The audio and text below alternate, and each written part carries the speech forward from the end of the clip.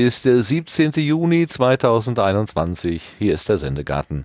Ihr hört die Stimme von Martin Rützler und der ist wie immer nicht allein im Sendegarten, sondern er hat ein paar SendegärtnerInnen dabei. Zum Beispiel die liebe Vera. Guten Abend, Vera. Hallo. Und der liebe Lars. Guten Abend, Lars. Schönen guten Abend allerseits. Und der Sendegarten könnte kaum funktionieren, wenn Sebastian nicht an den Reglern säße. Guten Abend, Sebastian. Ja, guten Abend zusammen. Und wir haben einen Gast auf der Gartenbank. Das ist der Frank. Guten Abend, Frank. Guten Abend allerseits. Prima. Ähm, letztes Mal hatten wir ja den Fall, dass ich relativ kurzfristig in die Welt gerufen habe, wer hat denn Lust mal auf die Gartenbank zu kommen? Und es haben sich da mehrere Leute gemeldet, unter anderem eben auch der Frank. Also er hat quasi aktiv angeklopft und dann nur gesagt, ja klar, dann komm noch vorbei und deswegen ist er heute da. Wie schön. Ja, zumal mein erster Besuch ja schon eine Weile zurückliegt. Ja, aber so lange noch nicht, ne? Das, war, das war irgendwas die 85 um die 90? 85? Nee, das war nämlich die 85. Ich glaube die 85. Ich gucke nach. Oder, oder war es die 95? Doch, ich habe es doch 94. SEG 094. Okay. 30. Januar 2020. Also anderthalb. Ja, ja. ja, ja fast anderthalb Jahre. Ja. Ah, hat sich bestimmt eine Menge verändert. Dann erzählst du uns von den Veränderungen. ja, ja. Das machen wir, wenn wir gleich auf der Gartenbank sind. Ähm, ich wollte nur sagen, als ich vorhin so geguckt habe äh, aufs Datum 17. Juni, da hat es bei mir irgendwie so geklingelt, so Tag der Deutschen Einheit. Hä, ist denn heute nicht Tag der Deutschen Einheit? Äh, und dann habe ich gemerkt, ah ja, du, du bist wirklich ne, alt. Du hast doch nur versucht, äh, einen Feiertag rauszuschinden. Ja, nee. Ich habe ja, ja, das wäre natürlich das schön. war mal einer, äh, ne? Wäre natürlich schön, ne? Ja. Äh, das war mal, aber dann hatten wir den 3. Oktober äh, nicht frei. Der ist ja einfach nur das umgezogen worden. Ja, der 3. Oktober ist ja jetzt der Tag der deutschen Einheit. Und ich habe dann bei Wikipedia nachgelesen, es ist total witzig. Es ist heute tatsächlich noch Tag der deutschen Einheit, aber der deutschen Einheit, wo man das Deutsch mit dem kleinen d schreibt. Und am 3. Oktober ist der Tag der deutschen Einheit, wo man das Deutsch mit großem d schreibt. Also wer auf diese diese schmale Spur Und ich gekommen ist. Ich habe mich gewundert, was in der Ankündigung dieser Hinweis auf das kleine D sollte. In der Tat. Es, es steht tatsächlich ähm, von 1954 bis 1990 war der 17. Juni in der Bundesrepublik Deutschland zum Gedenken an den Volksaufstand 1953 in der DDR gesetzlicher Feiertag mit dem Namen Tag der Deutschen Einheit mit kleinem D. Am 11. Juni 1963 wurde er durch Proklamation des Bundespräsidenten Heinrich Lübke zum nationalen Gedenktag des deutschen Volkes erklärt. Das Gesetz wurde zwar durch den Einigungsvertrag aufgehoben, die Proklamation hat aber ihre Gültigkeit behalten. Am 17. Juni werden bundesweit die obersten Bundesbehörden und ihre Geschäftsbereiche sowie die Körperschaften, Anstalten und Stiftungen des öffentlichen Rechts, die der Aufsicht von Bundesbehörden unterstehen, beflaggt. Haben wir heute Flaggen gesehen? Ich weiß nicht. Im Jahr der Wiedervereinigung gab ja eben. Im Jahr der Wiedervereinigung gab es den Tag der deutschen Einheit am 17. Juni 1990 und den Tag der deutschen Einheit, aber mit großem D am 3. Oktober 1990. Das ist total schräg. Also wirklich, manchmal ist unsere Verwaltung ganz köstlich. Ich habe den damals, da war ich ja Schüler dann auch, äh, der war ja vor meiner Geburt noch, dieser Tag, der, dieser 17. Juni. Aber als ich dann zur Schule kam, in der Oberschule und es um Geschichte oder so, ich habe nie verstanden, was das sollte. Aber das muss was mit der Zeit auch zu tun haben, dass man den zum Tag der deutschen Einheit äh, erklärt hat. Er, er, es war ja eigentlich nicht die Einheit, ne? Es war der Aufstand gegen die Lohn, äh, gegen die Normerhöhung hatte eigentlich mit der deutschen Einheit nur im Wunschdenken des Westens wahrscheinlich ja. was zu tun. Würde ich auch sagen. Ne? Wenn sich das einfache Volk erhebt gegen die, äh, gegen die Obrigkeit und, und, dann, also man verbündet sich vielleicht gedanklich mit dem, mit dem einfachen Volk und hat dann doch das Wunschdenken. Ja. Aber wenn man sich mal so vorstellt, ne, 1953 äh, wurde das blutig niedergeschlagen, der Aufstand mhm. der Bevölkerung. 1989 hätte es genauso ausgehen können und das ist glücklicherweise anders gekommen. Also ich, ich sage glücklicherweise, es gibt ja auch Leute, ja, die wünschen sich diese Zeit wieder zurück, was ich nicht nee, verstehen kann, aber ja, sehr, sehr merkwürdig. Und dann ist mir aufgefallen, dieser Aufstand 1953 fällt genau in dein Geburtsjahr. Du hast uns in der letzten Folge ja, ja. nicht verraten, dass du in dem Jahr geboren bist. Mhm. Meine Mutter war hochschwanger, weil ich ja Ende August geboren wurde. Ah, Ende August. Okay. Ende August, ja. Steht in der Twitter-Bio, glaube ich, sogar für euch sichtbar. Okay, ja, dann verraten wir keine Geheimnisse. Das ist immer gut. Nee, nee, nee. Wir müssen ja ich habe auch keine Amazon-Wunschliste, insofern ist das egal. Hast du, ähm, äh, du hast auch da schon in Berlin gewohnt, ne? In der, zu der Zeit? Ja. Ja, du bist ja, ja. da groß also ich geworden. Bin, ne? Ich bin ja in, in Berlin-Reinickendorf, ich bin ja nach Berlin-Reinickendorf hineingeboren worden, obwohl mein Geburts, die Geburtsklinik, das Paul-Gerhardt-Stift im Wedding liegt. Aber ich habe die Stadt eigentlich nur 1977 für, nee, 78 für drei Monate verlassen. Ui. Ja, da war ich in Frankfurt. Das können wir nachher vielleicht mal äh, ansetzen. Ja. Nachdem wir das letzte Mal meine Jugend so durchgezogen haben, kann ich auch ein bisschen was über meinen Beruf erzählen. Äh, nee, da war ich für, für einen dreimonatigen Lehrgang in Frankfurt. Hast du dich richtig nach vorne gewagt. Wow, wow, wow. okay. Ja. Nee, was, was mich interessieren würde, ähm, ich meine, wenn man da doch in de, sehr in der Nähe ist von so einem Volksaufstand, ob das vielleicht irgendwie auch äh, von den Eltern mal erzählt worden ist oder so oder bewertet worden ist. Nee, kann so nach dem Motto, die sagen. armen Nachbarn Nee. oder äh, das war, war schlimm oder irgendwie sowas. Nein. Martin, es ist ja, es ist ja sowieso auch generell bei mir so, dass ich eigentlich meinen Vater auch, mein, meine Eltern waren relativ alt, als sie mich bekamen. Meine Mutter war 42, mein Vater war 47, also Jahrgang 7 und 11, äh, 1907 und 1911, äh, dass ich mit meinem Vater auch viel zu wenig über seine Erlebnisse in der äh, üblen Zeit gesprochen habe. Ja. Und äh, ja, ich meine, der Volksaufstand, der fand dann äh, zwar im Geschichtsunterricht statt, aber dass man so mit den Eltern darüber gesprochen hat, nee, leider nicht, leider nicht.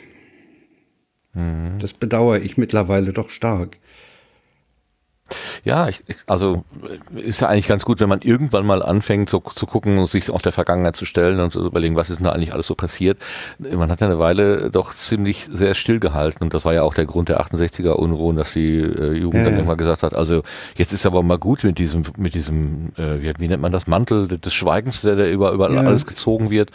Äh, jetzt äh, wollen wir aber mal ein bisschen äh, ähm, Licht ins Dunkel bringen oder mal frische Luft ähm, äh, unter die Talare bringen, wie es immer so schön Also was ich noch habe, ich habe noch ein, ein, ein äh, Lappen, ein etwas lediertes DIN A4-Blatt von der französischen Militärmission. Äh, das ist die Entnazifizierungsurkunde meines Vaters. Ach. Die habe ich noch. Wow. Ja, da bin ich auch ein bisschen stolz drauf, weil da drauf steht, dass er unbelastet ist. Offiziell kein Nazi. Ja. Ja, das freut einen. Ja. Das ist wirklich. äh, Also man, ja, ich, nein, es ist, es, ich habe gerade schon weiter gedacht nach dem Motto, oh, oh, hoffentlich kommt das nicht irgendwann mal anders, so nach dem Motto, du bist hier bewiesenermaßen kein Nazi, du gehörst nicht zu uns, du wirst das Land verlassen müssen oder so. Das haben ja andere Leute tatsächlich erleben müssen. Ähm, aber äh, da sei doch ähm, der, die Vernunft davor, obwohl ich äh, keine große Hoffnung habe, ehrlich gesagt.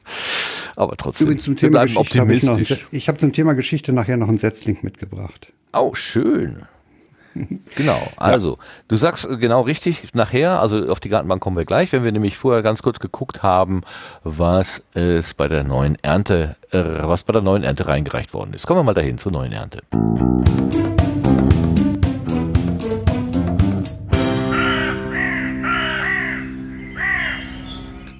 Ja, letztes Mal war der Philipp da. Afaldra hat uns von seinem äh, ja, Fantasy-Geschichten-Podcast erzählt. Ausgabe 124. Unter anderem haben wir aber auch da vorgestellt spontane Setzlinge. Und äh, da ist uns ein der Datenschutz-Podcast äh, untergekommen, der äh, hat die Episodendauer so von zehn Minuten. Und wir haben äh, anscheinend wohl irgendwie, das weiß jetzt keiner mehr so ganz genau, über diese Kürze ein bisschen gewitzelt. Ähm, Sebastian, hast du Lust, diese Toybi, äh, äh, den Toybi-Kommentar mal vorzulesen? Ja, einen Moment muss ich nur gerade noch aufmachen. Ähm, Ja. Genau, der Kommentar von Toybi. Äh, keine große Kritik, aber ich habe mich mal wieder über eure Reaktion über den 10-Minuten-Setzling amüsiert. Als Anbieter eines eigenen 10-Minuten-Podcasts kann ich euch sagen, dass in einer, einen 10-Minuten-Podcast oft mehr Zeit und Arbeit fließt als in einen zwei Stunden zum gleichen Thema. Sich mit etwas so tief auseinanderzusetzen, dass man es gut genug versteht, um es angemessen herunterzubrechen und das dann auch zu tun, ist aufwendig. Ich kann über den Setzling natürlich nicht sagen, aber bei mir braucht ein 10 Minuten mit Gästen durchaus einen ganzen Tag Arbeit. Ich verstehe das als Serviceleistung für Zuhörende. Ich mache mir die Arbeit, das Wichtigste rauszugreifen, damit es die Hörenden nicht machen müssen. Und bei Interesse können diese ja ein, in ein längeres Angebot reinhören. Der Resonator-Podcast hat das zum Beispiel auch mal den Podcast gemacht, kurze Episoden als Teaser. Lange zum Reinhören. Fand ich super, obwohl die das meines Wissens nach mittlerweile aufgegeben haben. Und ganz ehrlich, ich als Konsument würde mir mehr kurze, knackige Podcasts in dieser Art wünschen. Ich habe halt auch nur begrenzte Zeit, aber den Sendegarten höre ich natürlich trotzdem. Und hoffentlich bis zu Ende. Also ich habe das schon verstanden, dass, dass er sagt, äh, bitte würdigt auch die kurzen Angebote. Da steckt manchmal auch mehr Arbeit drin, als es äh, den ja. Anschein hat. Und ähm, das kann ich total gut nachvollziehen. Das stimmt schon. Ne? Ja, auf jeden Fall. Wie gesagt, also wenn das irgendwie falsch rübergekommen ist, dass, dass wir das nicht wertschätzen, dass das auf gar keinen Fall. Wir, wir hatten da ja auch nicht reingehört und können gar nichts über die Qualität genauso wenig sagen in dem Fall. Und ähm, es äh, ist halt meine eigene äh, Hörgewohnheit, dass ich eigentlich eher längere Sachen bevorzuge und äh, mir dann selber sozusagen ein Gesamtbild bilden kann.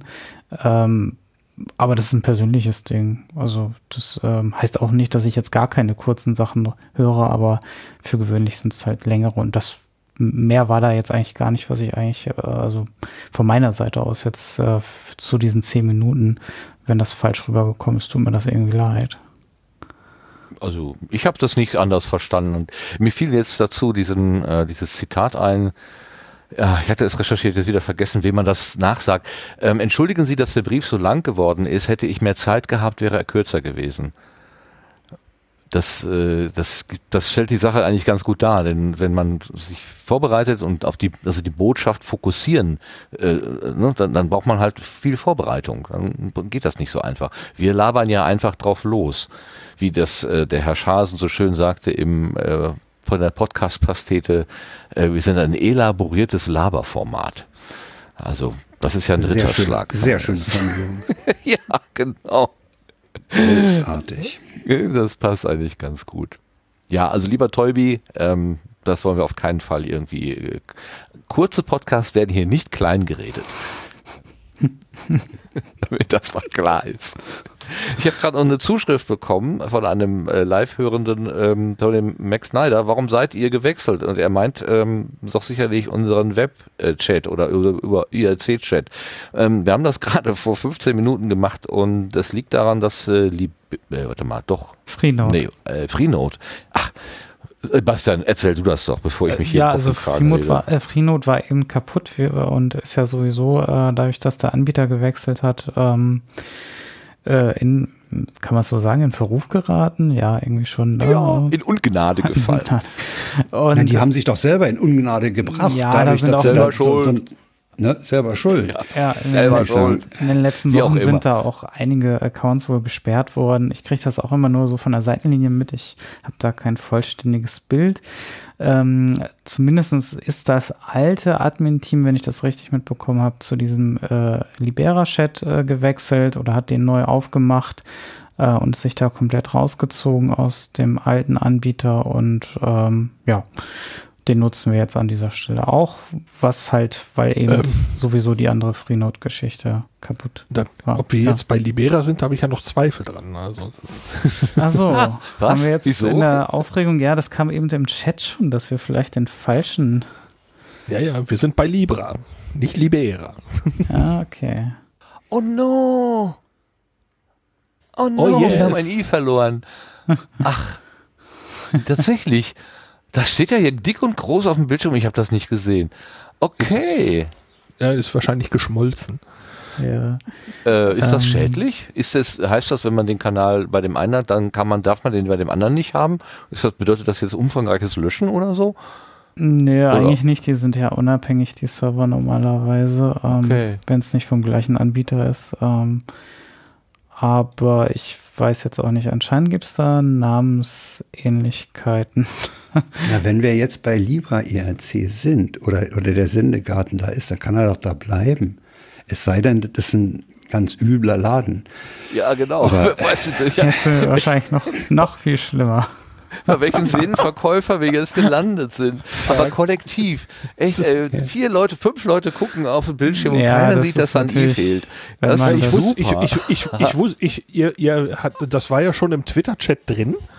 Und dann habe ich eben mitgespielt. Äh, ich, ja, ich natürlich. bin- du bist entschuldigt. Wir haben das verkackt. Super. Ja gut, herzlich willkommen im falschen Kanal, aber immerhin. Ist, ihr, sind ja, ihr seid ja alle da. Ja. Ich weiß nicht warum, aber Das ist ein schöner Podcast-Name. Der falsche Aber so Kanal. haben die, der sich Der der, Mensch falsche den Kanal, schon genau. länger gibt, der dann Libera genannt. Das ist natürlich auch ein bisschen doof. Falsche Kanal. wegen der Freiheit. Das klingt ja gut. Ja, gut. Ähm, genau, wir wechseln Oh. wahrscheinlich noch. Wir haben ein TÜV-Siegel bekommen vom Gartenhasen. Naja, wenigstens funktioniert das jetzt. Wenigstens für heute. Abend. Ja. Das, das Ziel war ja, das Ziel war um Viertel vor acht, wir machen uns einen temporären Kanal, der wenigstens heute funktioniert. Ja. Ich glaube, das haben wir, äh, das haben wir gut hingekriegt. Das muss ja nicht für die nächsten, weil was weiß ich, wie lange dieser Sendegarten noch existiert, ähm, halten. Wir What? werden dann mal gucken. Ja, ich meine, die, äh, die Kommunikation mit Libera-Chat ist ja freundlich. Ne? Da mit Fuchs und Hase und mit der, mit der Combo da, die ich mal für aber halte, aber das die sie ja nicht sind. Okay, super. Haben wir das auch Seid ihr alle da? Ja. Ja. Okay, meine, der Chat macht sich gerade selbstständig, aber es heißt ja, dass alle dahin gefunden haben. Ich bin Ja, ganz eben. begeistert. Ja, also gut, wenn Libra, IRC wirklich keine Seelenverkäufer sind. Ach, da Muss müssen wir Claudia, glaube ich, mal drauf ansetzen. Die kennt sich damit aus. Die hat ja uns ja dieses Libera-Chat empfohlen. Das ist jetzt ein bisschen doof, dass wir ausgerechnet den Hinweis von Claudia so sträflich ignoriert haben. Hast du was gesagt? War keine Absicht. War keine Absicht. Entschuldigung. Super. Na gut, jetzt haben wir doch eine Menge neuer Ernte hier, von von dem wir gar nicht geahnt haben, dass es es gibt. Super klasse. Und jetzt kommen wir dann auf die Gartenbank.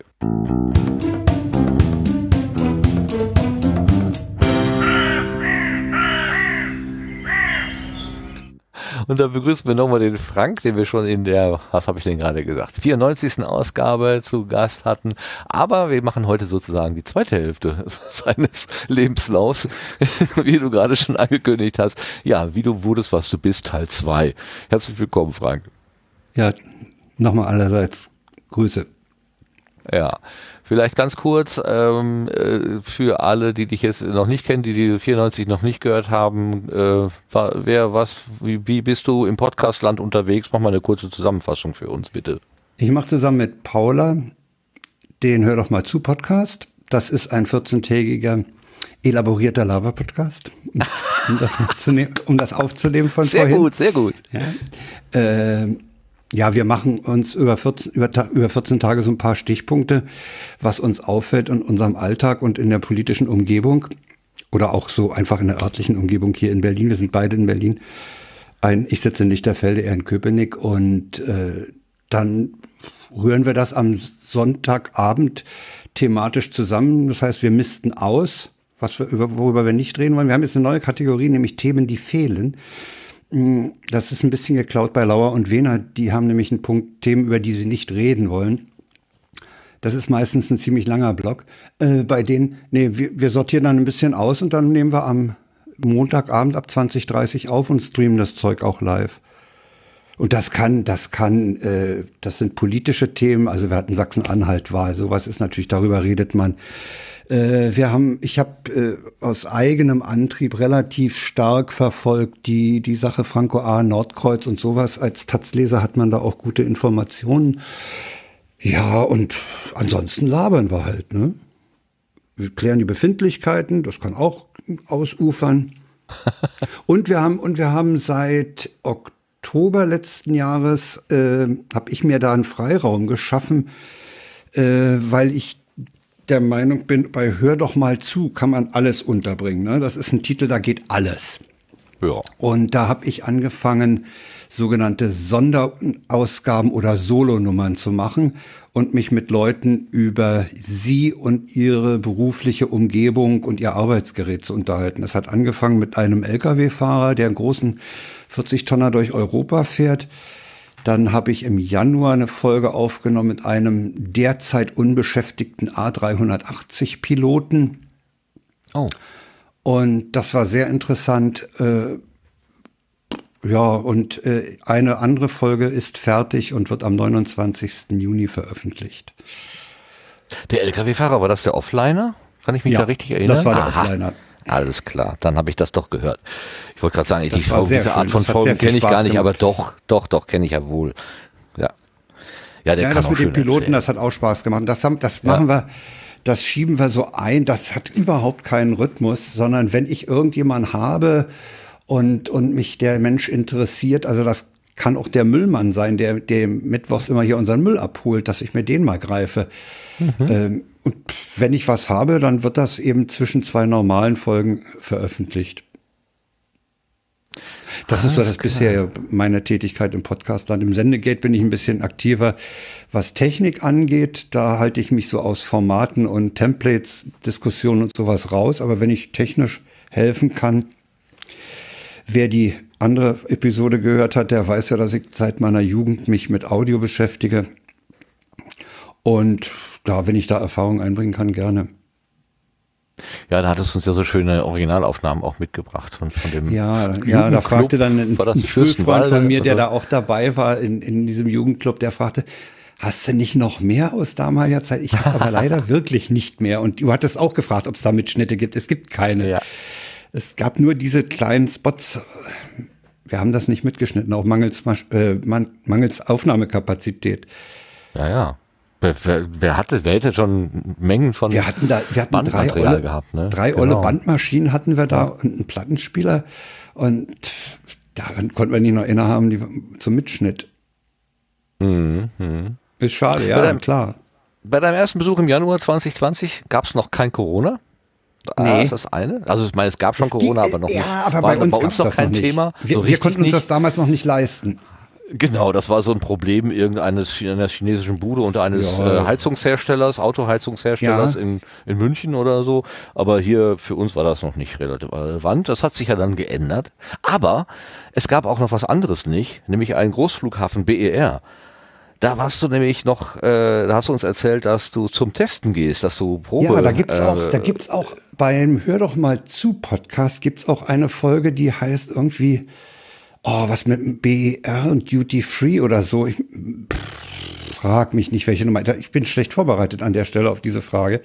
Nee, ich habe dann, ich habe an diesem Test teilgenommen und ich hatte auch die Gelegenheit, äh, Audioaufnahmen während dieser Aktion zu machen. Und ich habe in einer Hör doch mal zu Folge danach auch davon berichtet und diese O-Töne auch verwendet. Müsst ihr mal im, äh, die Webseite vom Hör doch mal zu ist schlecht, weil man kann nicht suchen.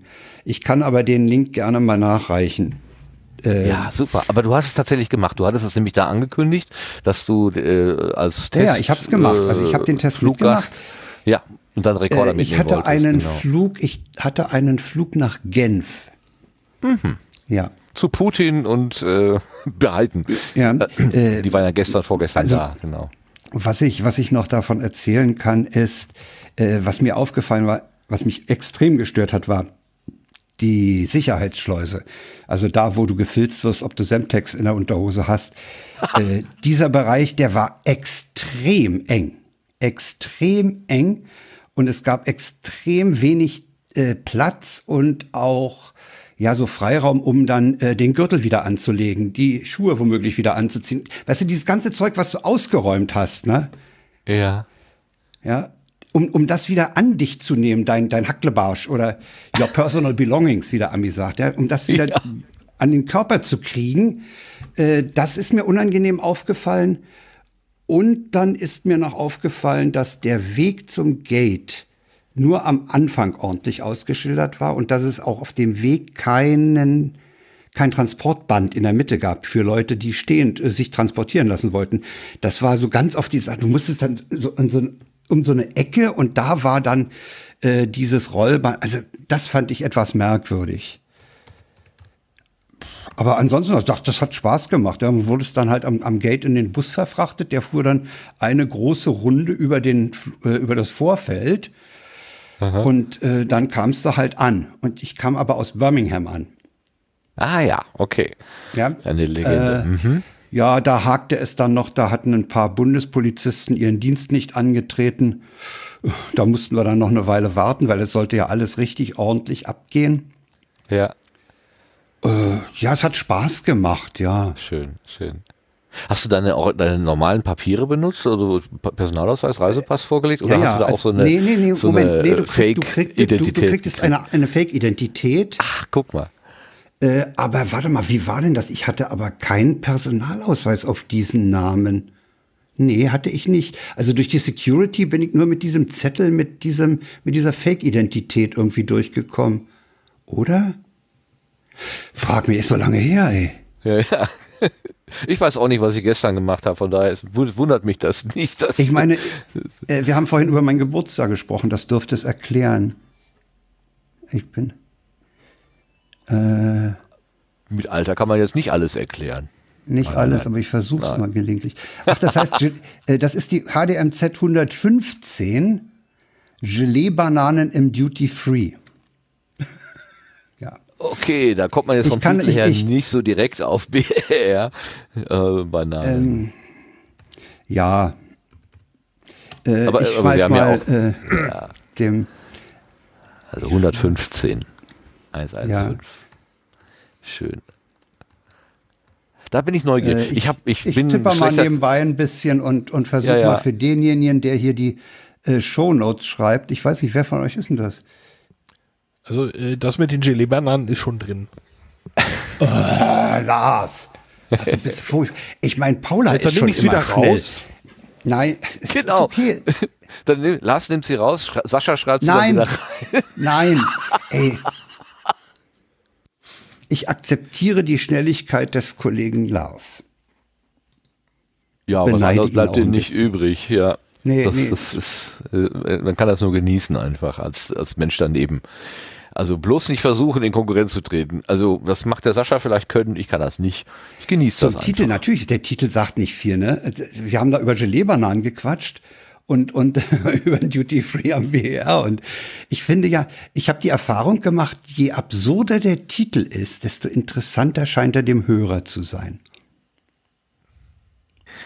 Wenn Ja, ich die Statistiken mir angucke, die mit den absurden Titeln haben die höheren, höheren Downloadzahlen. Okay. Ja. Das liegt am Titel. Also, ich meine, ich, ich mache ja die Titel für den Sendegarten hier und da ähm, früher, also ganz am Anfang habe ich mal versucht, auf auf Teufel komm raus, äh, irgendeinen floralen Bezug da reinzukriegen. Dann habe ich geguckt, ob es irgendwie eine Blume gibt, die so ähnlich heißt. Ähm, hier mit den mit den Anwälten, wie war das denn noch? Ähm, da habe ich irgendwie also da- ja, da habe ich irgendwie so Wortspiele, Wortspiele, Wortspiele und ähm, das ist eigentlich, versuche ich nach wie vor, aber ab und zu klappt das auch gar nicht. Und dann nehme ich halt irgendwas und das ist ähm, einfach total aus dem Bauch heraus. Also, ich, ich, ich, also man kann unsere Ausgaben sehr gut über die Nummern wiederfinden, aber nicht über die Titel. Äh, ich muss noch eben, eben dabei sagen, Ja. dass Sascha zwei Minuten schneller war. Er hat die URL längst gepostet gehabt. Stimmt, 2040 34 und du warst 2042 07, ja, in der Tat. Ja, ne? also man muss doch mal eben hier die Credits dem geben, den Ja. sie verdient. Ja, also ich nehme dir die jetzt wieder weg, Lars, ne? Ich nehme die Ja, wieder ich weg, die werf sie hier in den und Raum. Ich, ich schmeiße sie auf, auf Sascha rüber. Lars ist aber ein guter zweiter Gewinner, finde ich. Ja, Lars. Den braucht man auch. Auf jeden Fall. Gut, also das Und lohnt sich auf jeden Fall die in die, Taschentücher wieder weg. äh, weil, weil, weil dieser, dieser, dieser BER-Test, da diese Simulation, die war ja dann im Juni. Und äh, was da auffällig war, dass das gesamte Vorfeld vollgestellt war mit abgestellten Maschinen. Ne? Da standen die ganze EasyJet-Flotte stand da mit zugeklebten Turbinen. Das war Ja. alles tot zu dem Zeitpunkt. Ja. Ähm, äh, Sebastian hatte ja mal vor einiger Zeit äh, äh, einen YouTube-Kanal als Blütenschatz, Gerrits Tagebuch vom Miniatur Wunderland. Und äh, da habe ich die Tage mal reingeguckt. Da macht nämlich der Gerrit einen Rundgang durch das leere Miniatur-Wunderland, weil da eben auch Ja. pandemisch, aus pandemischen Gründen äh, kein, kein Betrieb ist. Und sie machen aber quasi jeden Montag einmal die gesamte Anlage an, damit halt überhaupt die, die Fahrzeuge und so weiter, die Motoren und all, alles sich mal wieder bewegt, um zu gucken. Und bei dem Rundgang äh, kam er auch am Flughafen vorbei und dann äh, macht er so eine Folie hoch und darunter standen ganz viele Flugzeuge und sagte, wir haben das gleiche Problem wie äh, jeder Flughafen, wir wissen nicht, wohin mit unseren Maschinen, weil Ja. die eben nicht, in- nicht in Betrieb sind. Ne? Ja. Ja. das ist genau das, was du beschreibst. Ne? Alles steht auf dem Boden rum und äh, das ist wohl, habe ich mal in einer anderen Dokumentation gesehen, für die Flugzeuge ist das Gift. Die sind tatsächlich darauf getrimmt, zu laufen, zum Ja, Beispiel so. die werden auch, äh, die werden auch in regelmäßigen Abständen voll in, äh, in Betrieb genommen. ja, um Feuchtigkeit rauszukriegen aus Ja, den Anlagen. ja, ja. Ne? Also ja. das ist, naja, das ist ganz übel, wenn die so lange rumstehen. Und der, der A380-Pilot, Steffen A, ja, Steffen A380 auf Twitter, der twitterte neulich auch, äh, die Lufthansa ist im Moment dabei, ihre überflüssigen A380 auf einen Parkflughafen in Spanien zu bringen. Tuela oder wie der heißt, ist mir jetzt nicht präsent der Name, genau, ich glaube Tuela. Äh, Ja. Und wenn man sich das anguckt auf äh, Google äh, äh, Street View, also Luftbild, dann Satellite View, äh, dann äh, sieht man auch, wie die da äh, geparkt sind. Also da, ist, da sind eine Unmenge Flugzeuge geparkt. Da ist das Wetter halt so schön warm, da rostet da nichts. Ne? Ja, genau, ne? Das äh, versucht man wahrscheinlich die klimatischen Bedingungen zu nutzen. Ja. Möglichst im Ja, Inland, nicht so nah an der ab. Küste irgendwo. Ja. Küste ist immer schlecht wegen des Salz, Salzwassers. Ja, aber das war auch das erste Mal, dass ich dann mit dieser neuen S-Bahn, mit dieser verlängerten S-Bahn da reingefahren bin in diesen Tiefbahnhof. Ja, war schon ganz imposant. Also ich finde, also was mir noch aufgefallen ist, ich finde ihn etwas düster im Inneren. Äh, Das liegt daran, dass sie, dass sie die Gänge mit äh, Nussbaum getäfelt haben. Das ist nicht besonders hell. Nee. Und ich fand die Hinweisschilder streckenweise auch ein bisschen klein in der Schrift. Aber das ist wahrscheinlich auch subjektiv. Aber ansonsten, ja, er scheint ja zu funktionieren. Ne? Ist, ist er in jetzt im pandemischen Vollbetrieb? Zeiten. Ist er jetzt ist Vo- Vollbetrieb? Ja, ja, also die haben, die haben den alten Schönefeld Terminal 5 ist das ja, haben sie komplett dicht gemacht. Weil Mhm. in pandemischen Zeiten reicht der Neubau. Aber nicht, aber wenn das pandemische mal weg ist, nicht mehr? Äh, dann ist er vermutlich, wenn es zu den vorpandemischen Flugbewegungen kommen sollte, dann wird er ein bisschen eng, ja. Oh wei, oh Ja, wei, ja oh wei. der, das, der, der ist halt geplant und äh, während der Bauphase hat, hat sich der Flugbetrieb halt erweitert. Aber ich glaube auch nicht, dass wir jemals wieder zu vorpandemischen Flugbewegungen zurückkommen. Ich glaube nicht. Also mindestens inner, innereuropäische Flüge vielleicht noch ein bisschen, aber innerdeutsch brauchst du es eigentlich nicht mehr. Ja, gebrauchen haben wir es noch nie, ne? aber es gibt halt genug Managerinnen und Manager, die müssen dann einfach morgens von Düsseldorf nach Frankfurt und abends wieder zurück oder von Berlin Ja. Mhm. nach Leipzig oder was, wo man auch sagt, ja, das ist ja rauf und runter ist ja länger als die, die Reise. Ja, natürlich. Also man, also man fährt aus Dauer, der ne? Innenstadt äh, vom, vom Bahnhof Zoo, wenn wir mal Zentrum West nehmen, äh, was mir als Westberliner natürlich nahe liegt. Äh, wenn man aus dem Zentrum West dorthin fährt, fährt man gut eine Dreiviertelstunde. Ja, eher fast eine Stunde. Boah. Ja. Und wenn du jetzt natürlich aus Gegenden kommst wie äh, irgendwie Marzahn-Hellersdorf, dann musst du erstmal in Richtung Stadt. Dort musst du dann in die S-Bahn zum Flughafen wechseln. Äh, da kannst du schon mal, ja, ich kann mir vorstellen, es gibt Bereiche, die brauchen anderthalb Stunden. Ja. Und dann musst du ja auch wahrscheinlich, ja, ich glaube, jetzt muss man zwei Stunden vor Abflug da sein, weil man ja eben, wie gesagt, noch durchwühlt wird Ja. diese berühmte Security. Äh, ja, ich meine, da bist du am ba da bist du eigentlich an jedem Bahnhof hier in Berlin schneller. Ja, Ja. wahrscheinlich. Allein schon dieses sich durchleuchten lassen. Also das ist so, ich finde das so unangenehm, da vor irgendwelchen äh, äh, Beamtinnen und Beamten da quasi bis zum Gürtel aus der Hose ziehen und so weiter. Ja, Ähm, ich hoffe ja immer, dass er dann, dass er wirklich mal dann runterrutscht und ich in Unterhose sage. Also das, ich, ich, also wenn ich weiter so zunehme, kriege ich das auch irgendwann mal hin. also ich finde das, ich finde es wirklich auch absurd.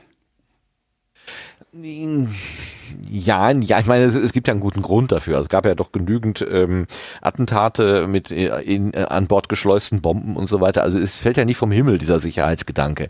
Aber es ist einfach unangenehm. Ne? Und, und die, ja. dass ich jetzt wirklich jeden ähm, jede Zahnpasta da irgendwie für äh, Plastiksprengstoff halten, ist vielleicht auch eine gewisse Paranoia, die sich ein bisschen verselbstständigt hat.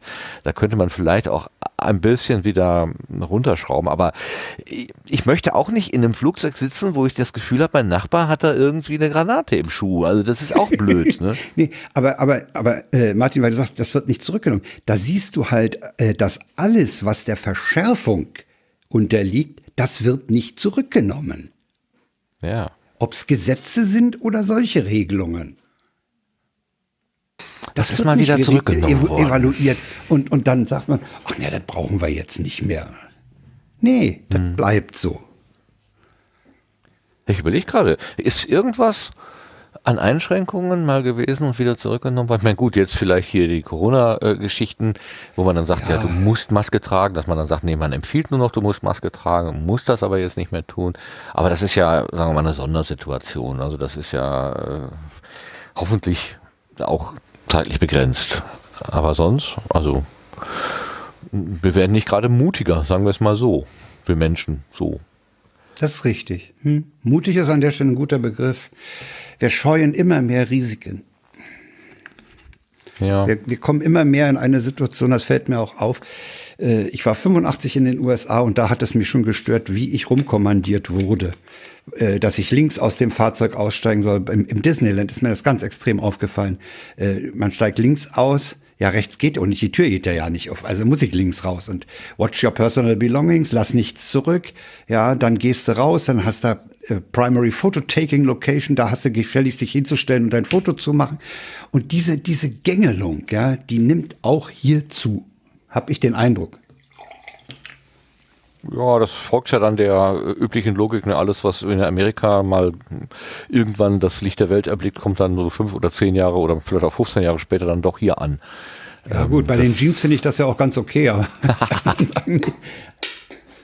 so, jetzt ist mein Verschluss ich von der mal, würde gerne mal die, die Meinung der anderen so hören, was die denn glauben, was den, was den Flugverkehr nach Corona angeht, ob das wieder die Normalmaß mhm. annimmt oder nicht. Du sagst, äh, Frank, du glaubst, dass es nicht mehr Ich glaube, es wird nicht auf dieses hohe Niveau zurück. Das glaube ja, ich nicht. Ich, ich bin genau gegenteilig. Ich denke, es, es, wird alles wieder in das Übliche zurückfallen. Aber mal gucken, was Vera dazu sagt. Wie schätzt du das ein? Ähm, also ich glaube auch eher, dass es äh, wieder mehr wird. Allerdings glaube ich, dass es hoffentlich, also nein, ich hoffe, ich glaube nicht. Ich hoffe, dass es ähm, durch die ganzen Klimaschutzsachen ja. ein bisschen hm. weniger ja. wird. Also, dass die Leute dann sagen, okay, wir haben jetzt gemerkt, in, in einem Jahr sind wir nicht geflogen und es hat uns nicht jetzt gestört. Ähm, also kommen, also dass viele halt einfach so durch Überzeugung sagen, okay, ich brauche nicht zu fliegen. Aber ich glaube trotzdem, dass leider die, ja, diese ganzen Management-Menschen und ja, Leute, die pendeln und so, dass die vielleicht dann doch ein bisschen den Flugverkehr wieder ankurbeln. Obwohl, da muss ich noch eben, äh, äh, ich meine, wir hätten jetzt in der Firma eine Reise, eine neue Reise äh, Richtlinie und da, da steht also drin, dass man der Bahn Vorzug geben muss. So, also mm. es gibt da irgendwie so ein, ne, wenn das Ziel innerhalb von so und so vielen Stunden erreichbar ist ja, per Bahn, mm. dann äh, bezahlen wir kein Flugticket mehr. Also sowas, solche Regeln. Also da gibt's äh, erstaunlicherweise Bewegung. Das stimmt schon, ja. Ja. Also ich, ich, wie gesagt, ich hoffe auch, dass die, die Bahn einfach äh, mal irgendwann tatsächlich einfach billiger wird, dass es, dass es ähm, ja, attraktiver wird, einfach Bahn zu fahren. Und Auch die das, muss sauberer äh, werden und pünktlicher. Das, ja, genau. Also, so, aber ich denke mal, wenn, wenn mehr Geld im Hintergrund ist, dann, dann kann man auch mehr Leute einstellen und ist dann vielleicht nicht mehr so unpünktlich. Wenn mal jemand krank wird, hat man sofort Ersatz und muss den Zug nicht ausfallen lassen. Irgendwie so. Mhm, ne? ja. Das ist ja, äh, ja, Geld kann ja. vieles schöner machen. Vielleicht auch den Bahnverkehr. Äh, ja, das ist richtig, natürlich. Dann kannst du dir wieder die Springer leisten, die äh, im, im, besten Fall einfach nur herumsitzen und äh, die ihre Zeit äh, vertrödeln, also so, so in Reserve irgendwie rumlungern. Und im schlechtesten Fall müssen die halt dann, weil es irgendeinem Lokführer oder Lokführerin schlecht geht, dann eben einspringen. Genau.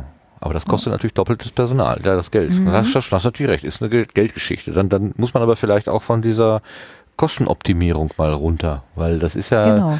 ja. Äh, das ist ja die, der Aus, die äh, Ausprägung davon, wenn ich jetzt ne, ich bin der super Ökonom, ich kann das total durchschauen, aber es ist, ich so verstehe ich das einfach, ne, dass man dann gesagt hat, äh, wir haben, wir, wir lösen die Reserve auf, ne, dann, es geht ja, es geht ja in 80 Prozent, 70 Prozent aller Fälle auch ohne.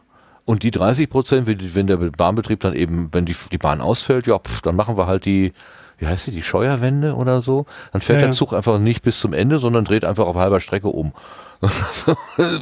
Sollen doch die Leute sehen, wie sie nach Hause kommen, mit dem Taxi oder mit dem Flugzeug. Ist uns doch egal. Ja, mhm. Das ist kein Servicegedanke. Also das ist. Ja, eben.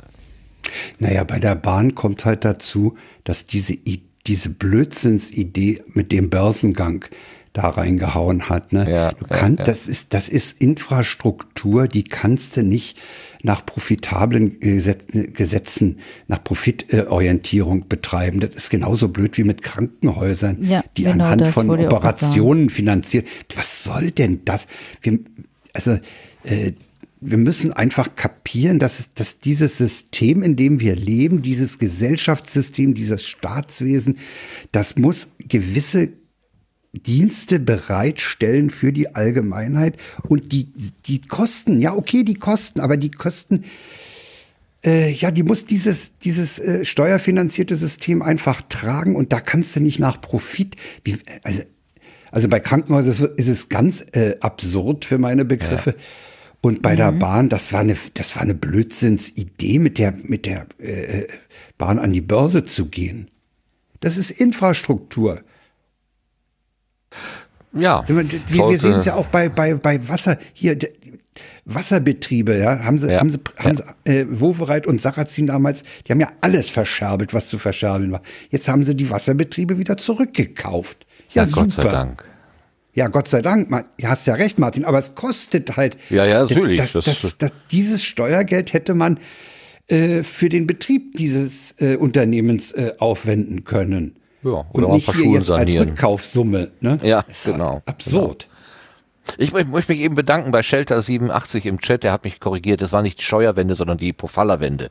Also wenn der Zug nicht bis zum Endbahnhof fährt, weil ah, ja. irgendwo der, der, der Fahrplan nicht mehr eingehalten, dann ist es die Pofalla-Wende, genau so. Mhm. Ähm, danke für den Ich Hinweis. folge hier der DB Regionalverkehr, das kommt öfter vor. Das kommt hier im Regionalverkehr Berlin-Brandenburg öfter mal vor. Da fährt er nicht bis Hauptbahnhof, sondern endet schon in Südkreuz, wenn er von Süd kommt. Ja, kommt vor. Ja, ja. Um, den, um den Plan zu halten, also wenn das das Ziel ist, ja, wir wollen quasi den Plan halten und so weiter, kann ich das ja sogar verstehen. Aber äh, man sollte doch vielleicht aus der Perspektive der Fahrgäste denken. Was, wie, welchem Fahrgast ist denn dadurch gedient, dass er irgendwo in der Pampa ausgespuckt wird und dann ähm, nicht weiterkommt? Und womöglich noch im Winter, wenn es dann kalt ist oder dunkel oder so. Das naja, ist doch bei alles. Dem, bei meinem Beispiel ist es, ne? bei meinem Beispiel ist es ja noch, noch erträglich. Dann steigst du halt Südkreuz aus, gehst einmal hoch und auf der anderen Seite runter und fährst mit der S-Bahn die restlichen Stationen. Aber es gibt halt auch Fälle, äh, wo, wo du zum Beispiel, wenn er nach Norden fährt, dann fährt er halt nicht bis Stralsund, sondern endet schon in Neustrelitz oder so. Das ist natürlich dann doof, ne? Ja. Weil da hast du dann halt kein, kein äh, elegantes äh, Fortkommen. Ja, ja. Also es ist, die Bahn ist ein äh, kompliziertes System, da machen wir uns mal nichts vor, das ist auch alles ziemlich äh, aufwendig, das, das zu leiten, aber man kann das tun. Ich habe äh, eine schöne Doku über die japanischen, äh, den japanischen Zugverkehr gesehen. Ja. Äh, da, der, der Reporter hat da gesagt, es ist erstaunlich, die Tickets sind verhältnismäßig teuer und trotzdem fahren sehr viele Menschen mit äh, der Bahn in Japan, weil es einfach funktioniert. Es ist, man kann sich darauf verlassen, es ist sauber.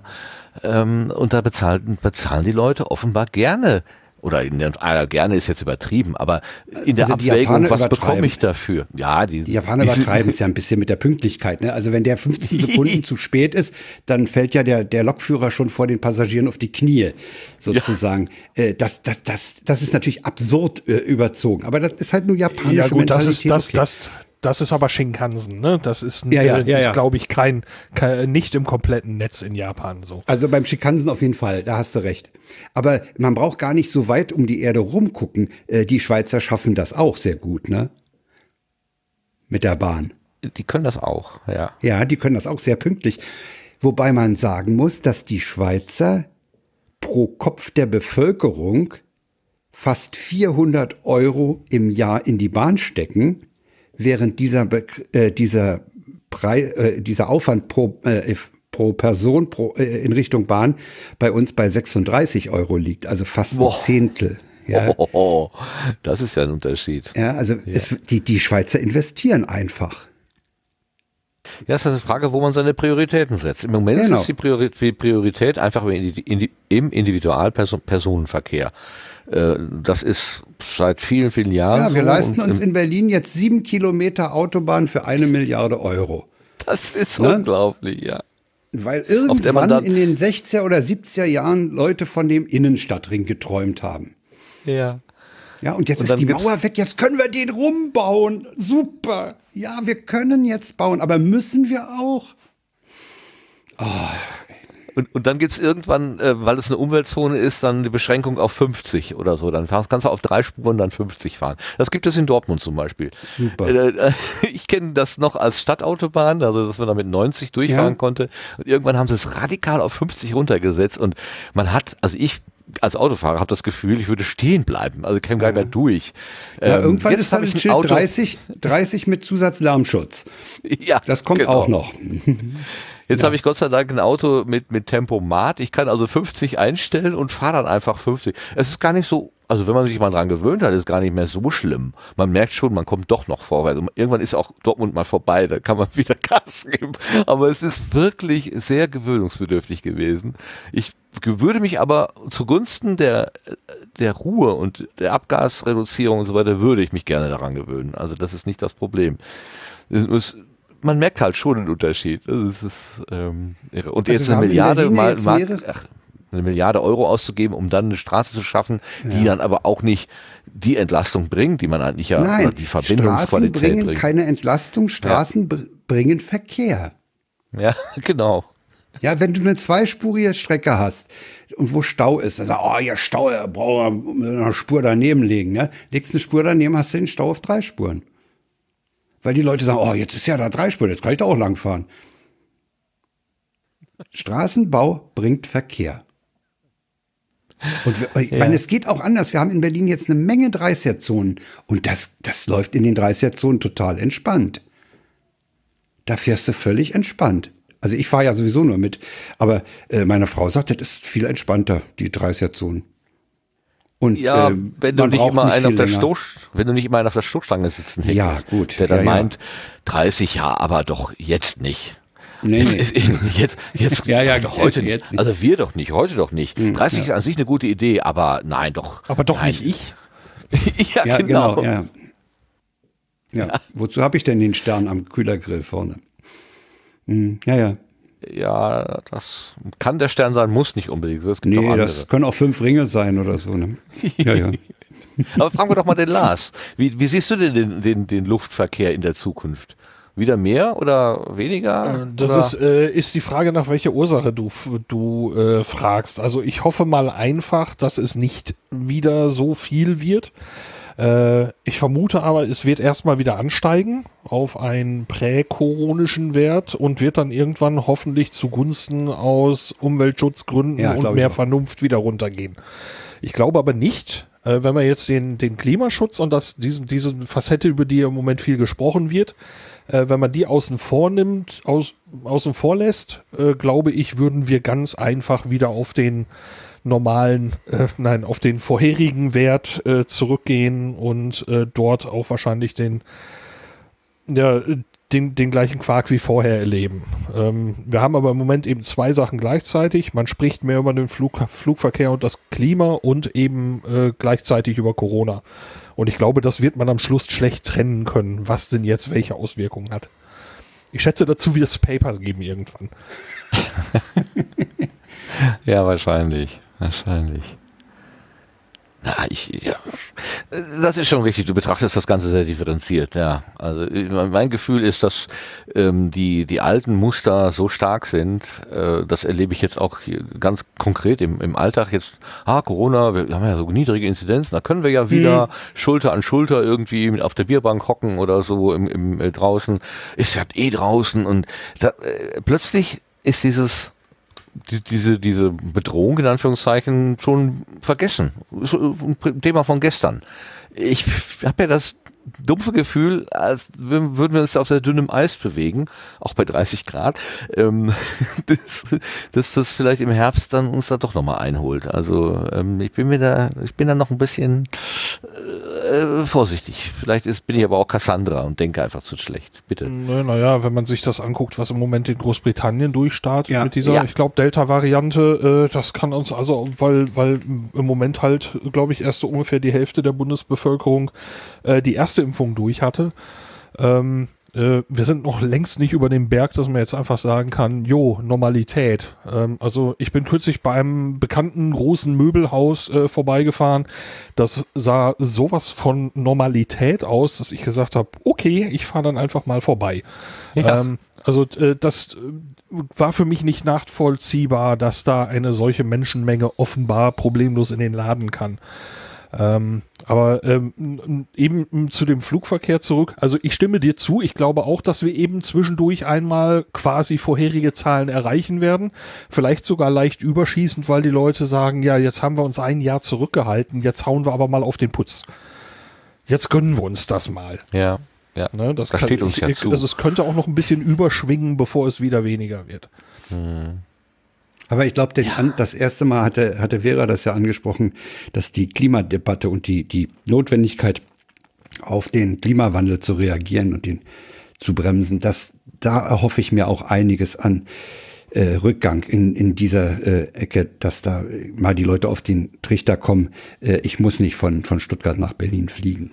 Aber, aber Frank, das, du hast doch damals, oh, Entschuldigung, Lars, red, red ja. ruhig, Entschuldigung. Ja. Ähm, wo, wo, wo ich noch Befürchtungen habe, ist, dass also die Deutsche Bahn 10 bis 15 Jahre hinter, den, hinter dem Bedarf hinterherhängt. Ähm, vielleicht, ich hoffe, dass es weniger ist. Ich hoffe, dass es viel weniger ist, aber ich glaube es noch nicht. Denn äh, die neuen Zuggenerationen, mit denen sie also auch alte Sachen ablösen wollen, die sind zwar alle angekündigt, der neue Intercity, diesem neuen Intercity-Modell, was fahren soll und so weiter, äh, womit die sagen, ja, dann wird das und das besser und dann haben wir auch vernünftige Klimaanlagen, dann fällt im Sommer nicht mehr so viel aus und was, was die alle dafür Zusammenhänge haben, ähm, da hängen die aber auf Jahre noch hinterher. Ne, auch wenn die dann zwischendurch sagen, so, wir haben jetzt schon mal 20 neue davon, jetzt wird alles wieder gut, da, da glaube ich eben nicht dran. Ähm, ne, und auch diese jährlichen Versprechungen, ja, nächstes Jahr wird das alles besser, glaube ich auch nicht dran. Ähm, deswegen, äh, ich befürchte, dass das im Moment ähm, einem Umdenken in Sachen Reisen noch ziemlich im Wege steht. Und jetzt habe ich genug gemeckert. Nein, gar nicht. Mehr davon, mehr davon. nee, was ich, was ich ansprechen wollte, äh, Frank, du erinnerst dich doch bestimmt auch noch an den alten Slogan Tempo 100 dem Wald zuliebe, oder? Ja. Und ja. ist da irgendwie. Äh, äh ich erinnere mich auch noch, alle reden vom Wetter, wir nicht. ja, das auch. Nee, aber ähm, hat sich da das irgendwie auf den Autoverkehr ausgewirkt? Ich würde mal sagen, nein. nein also es gibt inzwischen nein, ein paar Menschen nicht. auf der Autobahn, du die fahren ja, bewusst. Du, nee, du langsamer. musst ja bloß mal. Manfred, äh, Martin, du musst ja bloß mal äh, Tempo 130 ansprechen. Äh, da, da kannst du ja schon äh, innerfamiliäre Kriege lostreten. Okay, du bist erfahren. Ja, ja äh, also äh, wie gesagt, ich bin nur Mitfahrer. Aber meine Frau ist halt mittlerweile auch nicht mehr die Jüngste und rast auch nicht mehr. Also als wir den Karre neu hatten, da sind wir auch mal 200 gefahren. Klar, auf der Geraden in, bei Dessau. Okay, aber jetzt A, traut sie sich das nicht zu und zweitens äh, sagt sie, sie fährt auch einfach entspannter. Ja, wenn sie, wenn ja, sie, 100, genau. Ja, sie sagt, wenn, wenn sie, wenn sie, wenn, wenn man schneller fährt, kriegt man diesen Tunnelblick, diese, diese, diesen gierigen Blick nach vorne, weil du darfst ja nichts verpassen. Und sagte, ja, entspannter, viel entspannter. Aber äh, du kriegst in Deutschland offenbar Tempo 100, nicht mal 130 durch. Ja, ist erstaunlich. Und, dem Wald zu lieber 100 fahren. Also ich bitte dich. Ja, wozu haben wir denn unsere großen Autobauer? Ich meine, der, ja. der, um, um, um jetzt nicht zu negativ zu werden, äh, das große Waldsterben über die, durch die Übersäuerung da und das Schwefel, äh, was mhm. aus den Kraftwerken rausgekommen ist und, äh, und so weiter, ähm, da, das hat ja tatsächlich, es gab ja eine Gegenbewegung, äh, aber im Wesentlichen durch große Filteranlagen bei den Industrieanlagen. Ja, man nicht, hat doch den Schwarzwald ich, auch gekalkt, ne? Ja. Man hat doch und vielleicht, ja, unheimlich Kalk abgeworfen und, und das ja. scheint aber, das scheint aber äh, geholfen zu haben. Was jetzt äh, eher wohl dem Wald schadet, ist die Trockenheit. Ja. Na gut, aber da können wir durch Autofahren mehr oder weniger jetzt. Auch nee, durch Autofahren kann sie da nichts ändern. Nee, aber wir haben es gerade am Wochenende in Brandenburg gesehen, also das ist total trocken. Ja. Und in Brandenburg ja. nutzt Regen ja auch nichts. Das ist ja so ein Sand, das, das Zeug ist ja sofort weg. Ja, das glaube ich auch. Das Zeug ist sofort weg. Aber fragen wir mal den Sebastian. Fliegst du bald wieder nach Malle regelmäßig? Klar, hier ist Wochenende. ähm, nein. ähm, nee, also, nee. Also, ich, bin, ich bin vorher nicht geflogen und also tatsächlich bin ich mit einer Passagiermaschine noch nie geflogen. Ich bin schon mit Echt? Kleinflugzeugen geflogen, Super. aber äh, noch nicht mit, also mitgeflogen, nicht selber geflogen. Ja. Aber nicht mit, mit großen Passagiermaschinen, nee. Nee, eigentlich immer Bahn oder halt Auto. Ja. Also ich finde Bahn ja unheimlich, unheimlich bequem. Also wenn die, wenn, wenn Bahn funktioniert und mein ICE nach Leipzig zum Kongress kommt pünktlich äh, und ich steige da ein, da kommst du so entspannt auch an am Ziel, ja, das ist super. Aber ich muss, ich muss nochmal Holger Klein zitieren, der ja sagt, die Bahn ist ein hervorragendes Verkehrsmittel, was leider von Idioten betrieben wird. Oder gemanagt wird. Ja, vielleicht gemanagt wird. Ich, ich habe nämlich gerade den, den, den, weil, den Zug. Betrieben, da würde man, da würde man den einzelnen Lokführer mit rein, ja. den möchte ich dann doch nicht mit drin haben. Denn die reißen sich wirklich einen Arm aus. Also die, die ja. ackern wirklich. Ja. Und, und die äh, Stellwerksleute und so weiter, also die, ja, die, ja. die Strecken da äh, setzen. Also da, die ich machen die ich denke mal schon, dass sie eine gute Arbeit machen im Wesentlichen. Aber natürlich, es ist halt, äh, das sind so strategische Entscheidungen. Also wo, wo legst du deine Schwerpunkte als Unternehmen? Willst du jetzt Aktionäre irgendwie glücklich machen oder willst du die Passagiere glücklich machen? Und im Zweifelsfall beim AG, beim, beim ja, da, da sind wir wieder bei der, Pri ne? bei der, bei der, bei der, beim Börsengang der Deutschen Bahn, ne? Ja, genau. Ja, da sind wir wieder das ist vielleicht, ja, schauen wir mal, wie sich das entwickelt. Also ich, ich bin echt pessimistisch, was den Lerneffekt der Menschen angeht. Ähm, da ist dieses auch, ich, ich kriege das ja jetzt auch mit, äh, wenn, wenn ich mit Kollegen spreche oder mit, mit anderen Leuten hier so nach dem Motto, ja, jetzt haben wir uns so lange eingeschränkt wegen Corona, jetzt, jetzt dürfen wir aber auch mal wieder. Und dann ist Jetzt schlagen wir mal richtig über die Stränge, ja. Ja, und dann ist es eine, dann wird quasi die, die, die Zeit, die man die Füße stillgehalten hat, wird sozusagen äh, dagegen gerechnet und nicht die Frage, ob ich jetzt ähm, mich infiziere, ob ich ein Fall für die Intensivstation werde oder durch mein Verhalten andere äh, angesteckt werden und, und äh, das ist das ist in den Köpfen gar nicht drin, sondern nur wir, haben, wir waren jetzt so lange brav, jetzt müssen wir dürfen wir auch mal über die Stränge schlagen. Da, mit diesem Denken komme ich überhaupt nicht zurecht, aber ich höre das öfter. Also ich, das, und, und, jede Vergünstigung wird dann oder Möglichkeit wird ausgenutzt, hier diese ganzen Modellregionen. Ähm, ich käme ja im Leben nicht drauf, äh, nur weil irgendeine Stadt sagt, so, hier jetzt Modellregion, wir haben da irgend so ein wachsweiches Forschungsprojekt irgendwie am, am Haken, äh, deswegen dürfen jetzt alle wieder kommen. Ähm, würde ich mir echt dreimal überlegen, ob ich das mache. Ja, ich würde dir da auch folgen. Ich würde auch sagen, äh, man sollte jetzt im, im Sommer, wo die Zahlen runtergehen, äh, nicht äh, wie die Schlange, äh, wie das Kaninchen auf die Schlange, auf die Zahlen starren, sondern man sollte sich mal überlegen, äh, dass es vielleicht äh, gerade dieser, dieser Großbritannien und Delta, äh, diese Delta-Variante, äh, die wird mit Sicherheit im Herbst, gerade bei verstärkter Reisetätigkeit, äh, sich auch bei uns hier breit machen. Und mh, hm, da äh, ich, ich, fand, ich finde, zu schnelle Lockerungen, ja, okay, das nervt mit der Maske im Bus. Ja, es nervt. Es nervt im Sommer besonders. Aber äh, ich warne wirklich vor, vor so einer Euphorie. Oh, das ist jetzt alles vorbei. Ne? Jetzt können wir ja wieder. Ja. ja Äh, übrigens, was, was Lars sagte mit dem, mit dem äh, Möbelhaus da, äh, ich habe das äh, heute auch in der, in der Schlossstraße bei uns hier in Steglitz beobachtet. Da in dem einen Einkaufszentrum, das war auch äh, ein üppiger Betrieb, ne? Okay, die Leute trugen Maske. Ja, die trugen Maske. Aber äh, es ist auch einfach Ausdruck der, der Sehnsucht nach, nach wieder mehr Bewegung und, und ja, sowas. Das ist, ja. ist ja auch, das ist ja auch verständlich. Ähm, es ist äh, die, die Sehnsucht äh, nach Normalität und äh das, das, das kann ich total verstehen. Also ich werde ähm, am kommenden Wochenende zwei Menschen wiedersehen, die ich jetzt bald ein Jahr lang nicht gesehen habe und ich zähle sie zu meinen besten Freunden. Ähm, und äh, ungelogen, ich schaue mich auch nicht dazu sagen, als ich da die Tage dran, da, dran dachte, dass das eben an diesem Wochenende endlich soweit ist, da schossen mir zwischendurch einmal die Tränen in die Augen, weil das, äh, das ist einfach äh, ein, ein, ein furcht, furchtbar lange anderthalb Jahre schon, ähm, wo das alles so komisch läuft. Und wenn, wenn Leute sich nach, nach, ja. nach, nach der Normalität sehen, ich glaube, das ist absolut verständlich. Was ich nicht verstehen kann, ist an der Stelle, äh, dass man eben die Türen so weit aufmacht, ähm, äh, dem so weit nachgibt. Das, das ist eben nicht vernünftig. Das, das wird den Menschen eben auch nicht gut tun. Wenn du, wenn du diesen riesen Parkplatz bei dem Möbelhaus da gesehen hast und stellst dir vor, die sind da jetzt gerade alle drin. Nee, ja, ja. das ist für mich nicht vermittelbar. Ja, das ist auch ein Grund, warum ich im Moment noch keinerlei äh, Ambitionen habe, ins Kino zu gehen. Das, das, irgendwie hat man sich ja. das auch abgewöhnt. Also ich habe ich hab keine Ambition, ins Kino zu gehen. Ich war heute nur unterwegs, weil ich wirklich ein Gerät brauchte, weil ich morgen hier das lokale Netz umbauen will.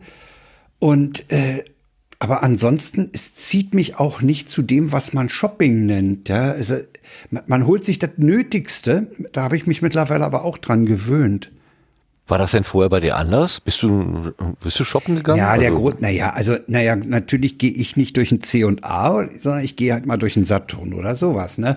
Aber so, man, ja, okay. Man, Baumarkt. Ne? Also man, mhm, ja. aber man, ja, ja, man ist aber doch öfter mal unterwegs gewesen, ne? Mhm. Und wir waren relativ häufig im Kino zum Beispiel. Theater nicht so, aber Kino war, ja, okay. Jetzt ist, äh, ja, wenigstens Freiluftkino, haben wir leider die Berlinale verpennt, den, den Kartenverkauf. Ja, aber ja, okay, wenn die Berlinale vorbei ist, werden wir uns mal wieder äh, mit Freiluftkino beschäftigen. Ja. Bei, dem, bei der Gelegenheit, apropos Kino, am 29.07., ich sage es lieber 7., weil Juni und Juli ist immer so schwer auseinanderzuhören. Am 29.07. kommt ein, hat ein Filmpremiere, der heißt Alles ist eins, außer die Null. Ah, und er zeichnet, er zeichnet äh, 40 Jahre CCC unter anfänglicher Regie von Wow Holland nach. Ja, da bin ich schon gespannt drauf. Also das ist dann mit Sicherheit ein Grund, egal in welchem Kino er in der Region läuft, da gehe ich hin. Das durfte dann Maske. wieder der Kinostart sein. Maske, natürlich. Außer man ist geimpft, getestet oder genesen. Ja, bis dahin habe ich ja die zweite Dosis. Ich kriege genau ah. heute in einer Woche meine, mein zweites Astra. Okay. Ich habe ja, gerade heute von Dr. Lip die Mail bekommen, dass ich mich in einer Woche im Flughafen Tempelhof einfinden möchte. Hm, oh, ja, oh, freut oh, das Stichwort. Astra oder was? Dr. Lip. ja. ja. ich weiß, der Laden ist auch nicht der beste. Ich weiß, ja, die haben Laden Preis gewonnen am Wochenende, ne?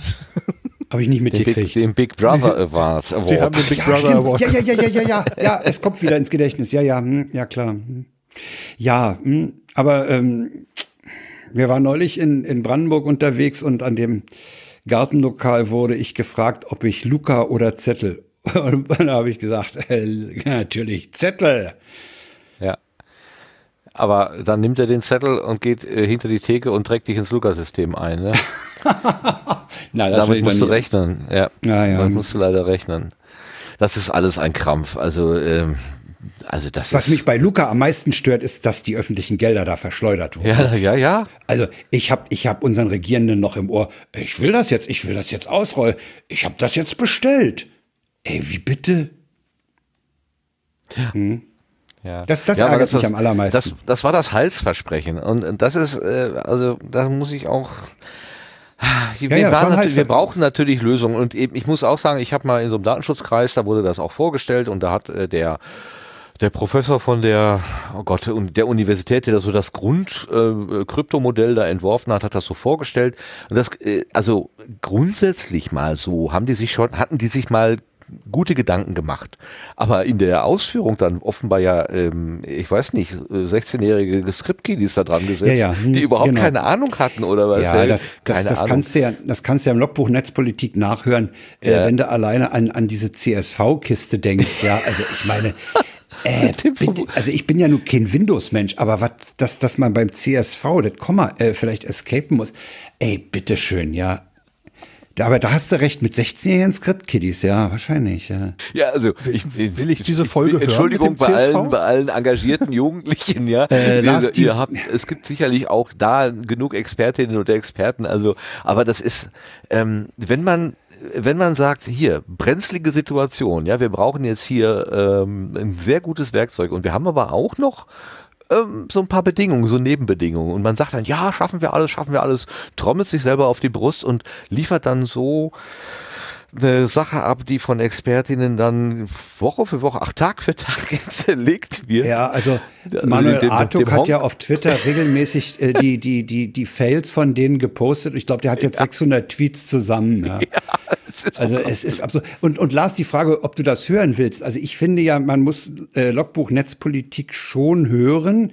A, ist es informativ und zweitens ist der Sarkasmus und der feine Humor von Linus Neumann schon hörenswert. Äh, ich war gedanklich jetzt beim anderen Projekt. Ähm, also äh, Logbuch Ah, ja. Netzpolitik ist natürlich klar. Ich war gedanklich woanders. Äh, das liegt an mir. Aber das mit dem Verrätst CSV du, war in äh, Freakshow. Äh, war, ähm, war ich, so. äh, also das mit der CSV war in Logbuch Netzpolitik. Ich meine ja. Ja, Ah, weil, dann, weil, äh, da- das war der Moment, ich wo Tim Prittlaff sprachlos wurde. Das, das, das, das, Das will habe was ich noch nie erlebt. Das habe ich Dann noch habe nie ich, erlebt. dann hab ich die Folge noch nicht gehört. Ich habe jetzt gedacht, Hm. ihr werdet irgendwie bei der Freakshow. Ich weiß nicht warum. Danke. Nee. Nee, nee, also das ist, also Logbuch Netzpolitik muss man schon alleine wegen Linus hören. Ja, müssen muss man gar nichts. Ne? Also jeder darf ja Nee. hören, was er will. Von daher Ja, ist das mit dem Muss als äh, warme Empfehlung Ja. zu verstehen. Ja, also kein okay. Hörbefehl. Also Nein, alles, nein, alle diese Begriffe sind immer mit einem Portionchen, ähm, äh, mit einer Portion Leucht Leichtigkeit zu verstehen. So, so verstehe ich das jedenfalls. Ja, und persönlich gefärbt. Ja. Ja. Aber das mit dem Dr. Lipp, äh, ich hatte nämlich genau auch äh, in meiner Euphorie, dass ich überhaupt einen Termin bekomme, habe ich ja, ich habe also jede Vorsicht fahren lassen und bei dieser ganzen Abfragen da sind Sie einverstanden mit Cookies und äh, hier Ja. äh, AGBs akzeptieren und hier Einwilligung geben. Ich habe immer, ja, ja, ja, einverstanden, einverstanden, ja, ja, ja, gib mir bloß einen Termin. So, so, so geil, ja. So, Ja, ist- ist ja so- verständlich, ne? Und dann eine Woche später siehst du, der, diese Bude, der du gerade deine Daten anvertraut hast, kriegt erstmal den Big Brother Award. Das ist, ist auch so ein bisschen so, ups. Naja, es ist das I- Impfzentrum Niedersachsen, der Auftrag ist auch an ein Unternehmen gegangen, wo ich jetzt auch wenig entzückt war, sagen wir es mal so. Aber naja, was soll man machen? Also ich habe an Ja, der genau, Stelle, was soll man machen? Ne? ich habe einfach abgewogen, was ist denn daran so schlimm, dass die wissen, wo ich wohne, wann ich geboren wurde und dass ich mit Astra geimpft wurde. Viel mehr, so viel wissen, die wissen doch weitaus weniger als Amazon oder andere Online-Buden von mir wissen. Ja, das ist, ja, wenn man das dann Oder? mal so dagegen, wenn das, ja, es fließt, fließt möglicherweise in das Gesamtprofil ein, was irgendwo in, ähm, Kellern in, in äh, oder in dunklen Fjorden in Norwegen über dich gesammelt wird. Wer weiß, keine Ahnung. Wir wissen es doch alle nicht. Das ist ja gerade das, das Blöde. Wenn Also das an alles transparent, ja, wenn das ja, ja. wirklich alles transparent wäre und auch so, dass man es verstehen kann. Also manche Transparenzinitiativen, äh, da kannst du, das liest ja drei Jahre und verstehst trotzdem nicht, was da gemacht wird. Wenn ich als Verbraucher wirklich ernst genommen werde und äh, ich mich darauf verlassen kann, dass mich ein Produkt, auch ein digitales Produkt, nicht gefährdet, genauso wie ich darauf sicher sein kann, dass mich ein Joghurt, den ich aus dem Regal im Supermarkt nehme, nicht vergiftet. Ja, dann wäre es ja gut. Aber genau das haben wir nicht. Wir haben diese Produkthaftung zum Beispiel nicht. Die können Nee, die haben wir nicht. Aber ich frage mich, ich frage mich, welche Gefahr geht davon aus, dass Dr. Lip Name, Adresse von mir hat? Ich glaube, die haben nicht mal eine Telefonnummer. Doch, die haben eine Telefonnummer wegen SMS. welche Gefahr geht davon aus, frag, frag ich mich. Und da habe ich für mich entschieden, dass ich die Gef- Gefahr, die davon ausgeht, äh, für nicht so relevant halte, als dass ich auf meinen Impftermin deswegen verzichte. Ja. Also ich habe zum Also da Beispiel fühle für ich mich vom Virus e- eher bedroht als von, von, der, von dem Laden da mit, mit ja, Also meine Mobiltelefonnummer ist mir schon was wert. Die kriegt nicht jeder. Und äh, das ist, ich möchte, ich, ich telefoniere nicht gerne und ich möchte auch nicht von Hans und Kranz auf dieser Nummer angerufen werden. Eben, Normalerweise deswegen gebe ich da meine, eine Festnetznummer an. Genau, Da gebe ich richtig. da eine Festnetznummer an und dann habe ich Hätte auch noch für ganz harte Fälle habe ich noch eine Festnetznummer, wo ein Automat, wo ein AB mit einer Ansage rangeht. Genau. Und, äh, und ähm, bei unsicheren Kandidaten gebe ich immer nur die Festnetznummer. Ja. Dann, dann, dann, da ist ein AB dran, also selbst wenn ich nicht zu Hause bin, kriege ich schon mit, dass ich gebraucht werde. Ähm, jetzt habe ich bei diesem Dr. Leb habe ich aber schon meine Handynummer angegeben, weil ich dachte, na ja, vielleicht muss man ja auch mal schnell reagieren und bevor mir die Impfung durch den Genau. Lappen geht, Ja, ne? Äh, aber damit habe ich ich jetzt im. Prinzip meinen eigenen Sicherheitslevel runtergeschraubt und das fühlt sich schon komisch an. Muss ich tatsächlich sagen. Ich, ich, ich gebe dir recht, Ja. äh, da ist jetzt nicht Leib und Leben bedroht. Also da, ich glaube jetzt auch nicht, dass äh, mir da wer weiß, was Schlimmes passiert. Aber es ist einfach so ein bisschen, ich, ich habe das Gefühl, ich habe so wie die, die Maus, die dann den Käse, dem Käse folgt und dann plötzlich in der Falle sitzt. So, so, so könnte es mir ergehen. Und ne, wäre ja schön, die würden es dann hinterher auch wieder löschen und nicht verkaufen an irgendeinen äh, Werbenetzwerk, die dann sagen, ach, wir könnten doch Also mal da bin ich, da bin ich relativ, da, da bin ich Optimist, muss ich dir sagen. Also so paranoid bin ich nicht, dass ich sage, Dr. Lipp verkauft das jetzt an äh, diverse Pharmafirmen oder so. Ich höre gerne. Und ich krieg dann- ich ich würde gerne deinen Optimismus teilen. Wundert mich, wundert mich, dass da, da Aber hätte ich, ich dich ich, anders eingeschätzt. Aber egal. ich muss auch gestehen, ich habe jetzt noch nicht genau geguckt, warum Dr. Lipp denn da eigentlich eine Nee, ich Wort bekommen hat. Ich hab Äh, ja, ihr soll, äh, also ähm, das sollte man mal lesen, dann versteht man das. Okay. Aber das führt Okay. jetzt hier wirklich zu weit. Ähm, ich möchte da jetzt auch nicht irgendwie äh, etwas falsch wiedergeben, was dann möglicherweise irgendwie Stress gibt oder so. Ähm, ich habe äh, die URL äh, für die äh, ja für die Lobes Big Brother für die für die Lobesrede äh, mit in die Shownotes aufgeschrieben. Alles klar. Super. Ja. Na, und manchmal ist es ja auch hilfreich. Also ich denke zum Beispiel an den Videodienstanbieter Zoom.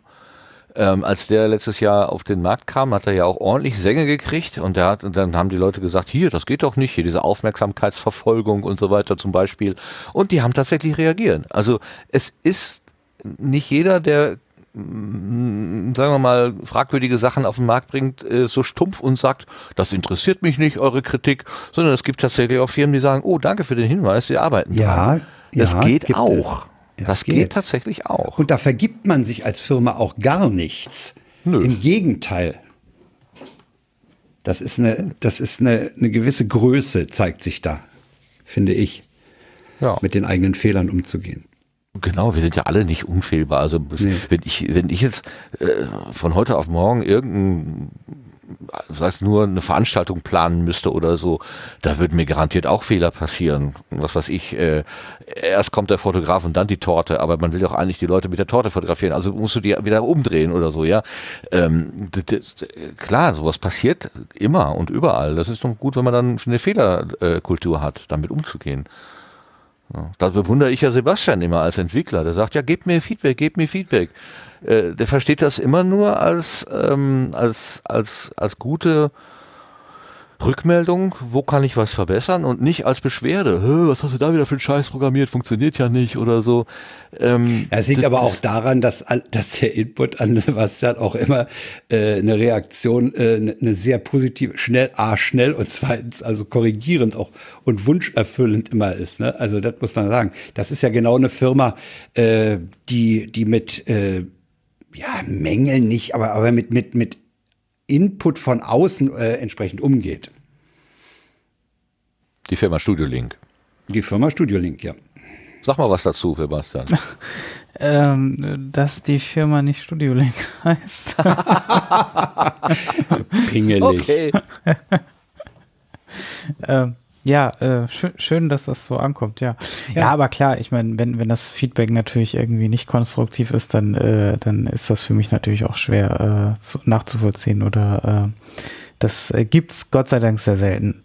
Ähm, aber Hast du eigentlich einen Sandsack bei dir im, im, im, im Büro hängen, wo du ab und zu mal draufhaust, wenn dir die, die, die Rückmeldungen zu doof kommen?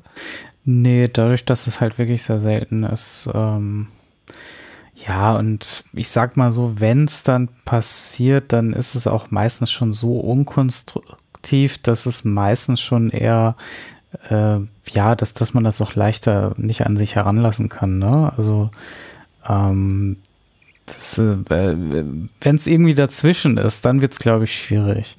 Aber so, ähm, ist eigentlich alles okay. Nee, also habe ich keine, keine, keinen Bedarf, Frust abzubauen. Das kann ich nicht behaupten. Ich möchte so gerne von dir lernen. Ich möchte so gerne das von dir lernen. Ich reg mich immer über jeden Pups auf, wo ich dann auch denke, nimm's doch mal. Also bei mir kommt immer erst die Aufregung und dann der Verstand, der dann sagt, aber da steht doch auch was Wahres drin in dem Brief. Ja, und dann, ja, eigentlich hat er ja auch recht. Und, aber ich muss mich immer erstmal aufregen. Ich möchte das eigentlich so können wie du. Und einfach neutral drauf gucken und sagen, was hilft mir das denn jetzt? Ja, die Gelassenheit von Sebastian, die ist wirklich streckenweise äh, exemplarisch. würd ich sagen. Also ich würde es auch gerne so können. Ne? Kannst du in Tüten abfüllen und verkaufen, Ja. bist du recht reich. Kurse geben. Ja, ich kann das nicht vermitteln, aber ja. Ja gut, äh, dann ändern wir mal das Thema. Der Frank hat ja vorhin angedeutet, dass er uns erklären wollte, warum er drei Monate Berlin verlassen hat. Was war denn da los? Ja. Ich habe im Anfang 1900, äh, war das jetzt 78 oder 77? 78. Anfang 78 habe ich ja mein Elektrotechnikstudium erfolgreich abgebrochen. Das lag daran, dass ich nämlich in den zwei Jahren vorher schon ja nicht mehr mich um Elektrotechnikstudium gekümmert hatte, sondern eigentlich nur noch am Rechner war. Und das war damals noch ein Großrechner mit Terminal. Terminals waren im Prinzip Fernseher mit einer Tastatur. Und da habe ich äh, programmiert, Autodidakt. Ich hatte dann einen Kumpel getroffen, mit dem ich heute noch, mittlerweile sind wir beide äh, auch aus dem Alltag raus, aus der, aus der Arbeit. Wir sind beide verrentet, aber wir sind immer noch befreundet und äh, haben auch lange Zeit zusammengearbeitet. Äh, der hatte mich da angefixt und äh, dann war das klar, also ich mag Elektrotechnikstudium nicht weiter. Das ist eben mehr als mit der Modelleisenbahn ein Trafo anschließen. Das ist theoretische Elektrotechnik und das ist eklig und äh, äh, nee, das war nix. Und dann habe ich mich meinen Eltern offenbart, dass ich da aufhören möchte und da, die hatten ja schon vorher mitgekriegt, dass das da mit der Programmierung und so, ich hatte ja auch Lochkarten zu Hause. Und dann hat Vater gesagt, ich, eine Ausbildung finanziere ich dir noch. Und dann bin ich zum Control Data Institut nach Frankfurt. Control Data ist die Firma gewesen, die die Großrechenanlage der TU geliefert hatte. Und die hatten ein Weiterbildungsinstitut, Control Data Institut, und boten da Programmiererausbildung an. Und dann bin ich für drei Monate nach Frankfurt gezogen. Da so möblierte Zimmer gehabt. Äh, ja, war nicht groß. Also nicht in dem Sinne eine Wohnung, sondern ein möbliertes Zimmer. Das war so, so wie eine Handwerkerwohnung. Weißt du, was Leute so ver vermitteln. Montage, Montage. Ja, äh, Montage, äh, Unterkunft. Monteurszimmer, sowas, ja, ja, genau. Ja, ja, Monteurse. Äh, Und dann war ich da drei Monate und ich hatte halt das Glück, dass ich diesen Kurs relativ easy abwickeln konnte, weil ich ja, ich hatte ja schon Programmiererfahrung. Und dann kam die da mit Kobol an und äh, Kobol riecht nach Lulu. Äh, aber ich, ich habe den Kurs dann da unheimlich, ja, ich würde sagen, elegant, mit wenig Aufwand, mit viel Sachsenhausen und Appleboy absolviert und komme zurück und habe dann äh, bei einer Firma gearbeitet, kurz in der Datenverarbeitung. Das war sehr in der Nähe meines damals noch bei den Eltern Wohnortes. Und das war eine Firma, die haben äh, angefangen, ihre, ihre Datenverarbeitung da anzuwerfen. Da habe ich ein bisschen äh, für die Lagerhaltung und, und Bestandssachen und sowas programmiert. Das war die Firma Gerb. Äh, die hatten, das war eine Firma, die große Dämpfungselemente herstellte. Ich fand das damals ganz interessant. Die hat nämlich die Riesenfedern gebaut auf denen die Fernsehstudios des damaligen SFB, heute RBB am Kaiserdamm stehen. Da ist nämlich ein U-Bahn-Tunnel und die Fernsehstudios stehen da als Haus in Haus auf riesigen Federpaketen. Ah. Bei der Firma war ich dann und dann, dann meldete sich genau mein alter Kumpel, der mich mit dem äh, Programmieren angefixt hatte und sagte, du, an der, an der TU ist am Rechenzentrum eine, eine Schwangerschaftsvertretung offen.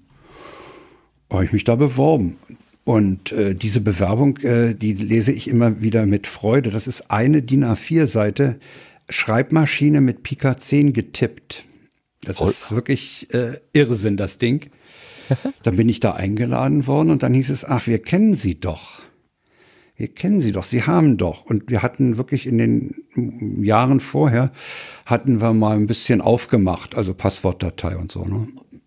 Um ja, das hast du beim letzten Mal schon erzählt. Ja, ne? Dass du da so ah, ja, haben etwas wir, illegal also wir kennen so Sie. Jedenfalls, en, im Endeffekt, im Endeffekt habe ich die Stelle gekriegt. Und nach anderthalb, die war für zwei Jahre befristet. Und nach anderthalb Jahren wurde ich in die Personalstelle gebeten und dann wurde befristet bis schlicht durchgestrichen. Schön. Weil der Arbeitsvertrag, den ich hatte, der war auch Pika 10 mit Schreibmaschine geschrieben. auch nur eine noch. Seite? Äh, nee, ne, länger. Ich glaube, ich glaube, zwei Seiten. Ja, das kann sein. Oh. Das, das könnte zwei okay. Seiten gewesen sein. Ja, und dann war die Stelle unbefristet. Ne?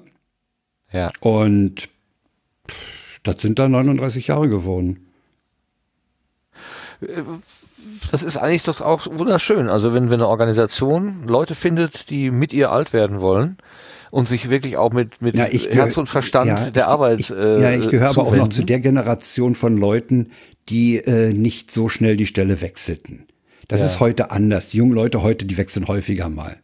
Ja, Aber. Äh, das hat Spaß gemacht. Wir haben damals den Grundstein fürs deutsche Forschungsnetz gelegt mit Bernet, dem Berliner Rechnerverbund zwischen Wissenschaftszentrum, äh, äh, wissenschaftlichem Rechenzentrum FU und TU, waren total selig, wenn wir über 9600 Bootleitungen äh, eingelesene Lochkarten an der anderen Uni rechnen lassen konnten und der Ausdruck kam wieder bei uns raus. Ja, das hat Spaß gemacht. Und dann kam irgendwann kam dann kam dann die die PCs, das war dieses WAP-Programm Wissenschaftler Arbeitsplätze. Da kam Unix ins Haus, dann kam äh, Datex-P-Verbindung, also Ver Fernverbindungen über X25-Protokoll, sauteure Leitungen. Ja, und dann kam irgendwann das Internet über Dortmund nach Deutschland. Ne?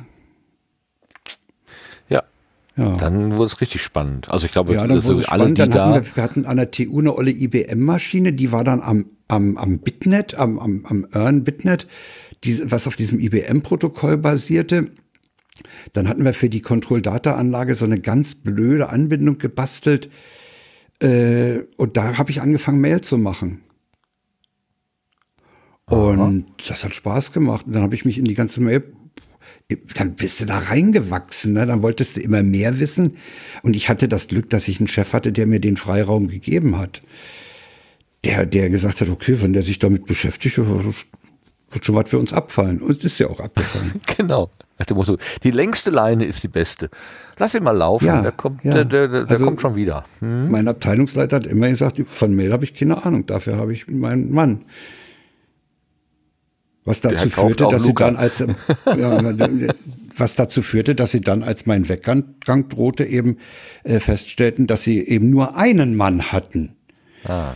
Und äh, sich dann um sich nicht äh, darum bemüht haben. Das war ja auch nicht machbar. In einem, in, in einem Jahr kannst du jemanden nicht in, in den Bereich Mail-Administration und das ganze Zeug einarbeiten. Das geht nicht. Das ist, das da ist so viel, weißt du, ich sage immer, Erfahrung musst du machen, die kannst du nicht aufsaugen. Die musst du selber machen. Ich kann, ich kann einem anderen nicht Erfahrung beibringen über, oder über, mitteilen. Nee. Ja, was ich Erfahr Erfahrungen gemacht habe, äh, das kann ich nicht weitergeben. Das muss der selber machen. Und die Zeit hatten, die, Leute hatten sie nicht Zeit.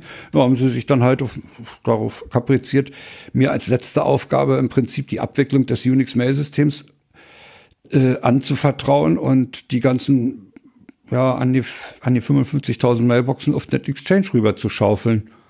Ja. ja. Und jetzt geht an der TU im Moment gar nichts. Ne? Das habt ihr ja vielleicht mitbekommen. Nee, äh, setz mich mal die kurz ins TU hat am 30. April, haben sie festgestellt, 30, Freitag, 30. April haben sie festgestellt, dass sie in ihrer Windows-Umgebung verschlüsselte Dateien haben. Oh no. Ach, und dann haben sie das alles abgeschaltet ja. und äh, da, da Mail auf dem Exchange ist, also Windows ist und lief dann erstmal eine Weile gar nicht. Dann haben sie ungefähr zehn Tage gebraucht, bis sie ein Not-Mail-System hatten. Äh, Da haben sie sich einen Postfix aufsetzen lassen und dann haben sie sich irgendeine so eine Web-Oberfläche dafür gekauft und so. Ja, hat sich rausgestellt, die waren seit 26., also vier Tage schon vorher drin. Die sind also offenbar über ein, äh, es war, es war wohl ein Ransom-Angriff, der nicht ganz funktioniert hat. Aha. Aber mh, sie sind über einen äh, dezentralen PC, haben sie sich eben bis in die Zentrale durchgehackt und äh, das ganze AD auch abgesaugt. Ne? Also es sind auch Daten abgeflossen. Ja, Oh, oh. Da Das wird wird Frau, das- Frau Smolzig äh, nicht glücklich sein darüber, das zu hören. nee, nee. Äh, nee, und es ist halt auch so, sie hatten dieses, dieses SAP-System, was sie jetzt Mühe, mit Mühe endlich mal zum Laufen gekriegt haben, äh, das läuft zwar auf Unix-Hosts, aber ist halt äh, völlig auf diese Windows-Umgebung abgestellt, ne? Ja, ja, ja. Und äh, die, die konnten ja die, die Mai-Gehälter haben sie ja nicht zahlen können. Die haben sie ja, äh, die haben sie die Zahlen genommen, die sie Ende April gezahlt haben. Sie konnten die Gehälter nicht neu berechnen, weil dieses ganze SAP-System noch aus ist. Oh je. Mhm, Das kann Monate, wenn nicht Jahre dauern. Ja, Also ich ja, habe ja. gehört, Gießen hat mehrere Monate gebraucht nach so einem Ransom-Angriff. Ja. Ja, also der scheint aber in die Hose gegangen zu sein. Der Ja. scheint in die Hose gegangen zu sein, weil Äh, nicht, nicht- eben nicht äh, das, das System ähm, muss irgendwie, die müssen irgendwie gestört worden sein. Ja, aber an der TU ist im Moment Fratze. Das ist nicht schön. Also man, man Nee, ist nicht schön. äh, ich, ich neige dann manchmal so ein bisschen zu Schadenfreude, aber äh, das ist völlig fehl am Platz. Also ähm, da kann man wirklich Also nur wenn- Bedauern haben. Du kannst wenn- dich davor tatsächlich nicht äh, äh, endgültig schützen. Nein, du kannst bist du immer, nicht. wie ein Sicherheitsexperte letztens sagte, you are always one click for disaster. Ja. Aber man muss auch, man muss aber eines noch dazu sagen. Also wenn äh, ein Bekannter hat getwittert, den kennt ihr auch, das ist der Lindworm, der Mirko Bitz. Wenn du, Ja. wenn du so lange brauchst, dann ist dein Ri- Riskmanagement einfach im Eimer. ja. ja. Da hast keine Ja. Vorsorge getroffen. Aber welche Dann Firma hat das? Vorsorge. Welche Firma hat das? Hm?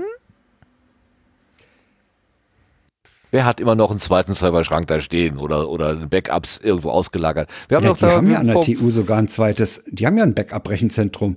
Die haben ja in einem anderen Gebäude nochmal ein, ein, ein, äh, ein SAN, ein Storage Attached Network, äh, was, was gespiegelt ist und alle totales Backup-Rechenzentrum. Bloß, wenn beide, wenn beide letztlich auf dieses Active Directory zugreifen, dann ist das halt kein Backup-Rechenzentrum, ne? Ja, Dann okay, hast du ein an Single Point of Failure. ja, genau. Also an der Stelle vielleicht in deinem Konzept dann doch irgendwie. Ähm, Ja, sie haben ja auch zugegeben, dass Zitronen sie, dass sie die. Struktur ändern wollen und müssen Ja. und dass, dass deswegen auch der Neustart so lange dauert, weil sie eben jetzt doch rangehen wollen und äh, das alles mal ein bisschen anders aufbauen wollen.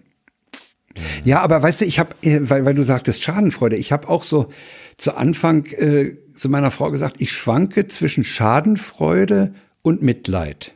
Ja. Genau. Mitleid mit den Leuten, die ich gut kenne, wo ich weiß, die stehen jetzt total im Stress. Ja. Aber ein bisschen Schadenfreude. Mh, äh, übrigens, die zwei Maschinen, äh, die noch äh, in Produktion sind, der List-Server und die Alumni-Mail-Maschine, die lauf, liefen die ganze Zeit einwandfrei durch. Die, das sind meine. Hast du die gehärtet oder was? Nö, die, ja, die sind halt in der Windows-Umgebung rumgeturnt, ne? Ja, okay. Ja, sprechen die Sprache des Angreifers nicht. Deshalb geht es dran vorbei. Ja, klar. Also die beiden Maschinen, die liefen, die waren aber nicht erreichbar, weil die, der zentrale Mail-Eingang über den Exchange lief. Also die, dass die weiterliefen. Na Gut, die Alumni-Mail-Maschine, okay, das, das für die Alumni-TU Berlin-Domain, die lief weiterhin durch, die haben gar nichts gemerkt. Beim List-Server, ja, das hätte man auch ändern können, aber hat man halt nicht. Hat man auch nicht bedient. Ja, ja. Ja, also ist auf jeden Fall äh, sagt, gibt das ja immer einen guten Hinweis darauf, dass man sich nicht zu leichtfertig in der Sicherheit wiegen darf. Also die, die Nein, Zeiten, nein. wo ähm, das, das Internet von gutem Willen getragen war, so war es ja vielleicht Die Zeit früher ist vorbei. mal. Die ist nun wirklich vorbei. Du musst immer damit rechnen, dass hinter jedem Klick äh, das, Ja. das Desaster äh, und auch das die netteste E-Mail kann eine ganz fiese Phishing-Mail sein. Also da muss man tatsächlich mit ganz großem Misstrauen rangehen, was ja eigentlich auch so ein bisschen die die Stimmung verdirbt. Ich möchte nicht meinen, Ja, irgendjemand, der mir, der mir will ja nicht Misstrauen entgegenbringen, muss ich aber schon ein bisschen immer haben. Ja, also, aber weil du sagst, früher war das anders, natürlich. Also alleine die, die Tatsache, dass man ein offenes SMTP, also Mail Relay hatte, das war früher Standard. Wenn, wenn ich irgendwelche Probleme hatte, dann habe ich die, den, den, den ausgehenden Traffic einfach dem Kollegen Haber in einer, an einer Fraunhofer in Karlsruhe hingeschmissen. Da wusste ich, dass der schiebt das weiter. Ja, aber das, das ist halt lange vorbei. Das ist ganz lange vorbei. Ja, da müssen wir auch mit umzugehen lernen. Aber äh, man, man nochmal eine, auch so eine Entwicklungsfrage, das hast du ja auch mitbekommen. Ähm, wir hatten ja, wie du gesagt hast, es, früher die, ähm, die Struktur, Terminals zu haben, also wirklich ein Ja. Fernseher mit, Fernbild, mit, mit, äh, Mit Tastatur. Tastatur. Aber gerechnet wurde das alles irgendwo weit weg auf einer großen Maschine, weil man die, die, die, Ja. die Leistung vor Ort überhaupt nicht hatte. Dann kam diese Dezentralisierung und jetzt passiert ja wieder aus noch nicht so ganz nachvollziehbaren Gründen so eine Zentralisierung. Jetzt hast du im Prinzip ja doch wieder nur so eine Fernbedienung und die tatsächliche Verarbeitung läuft irgendwo und im schlimmsten Falle dann auf US-Rechnern. du meinst sowas wie die Amazon Cloud? Wie siehst du, wie, wie, warum, warum glaubst du, ist das so oder wie siehst du da so als Fachmensch so drauf?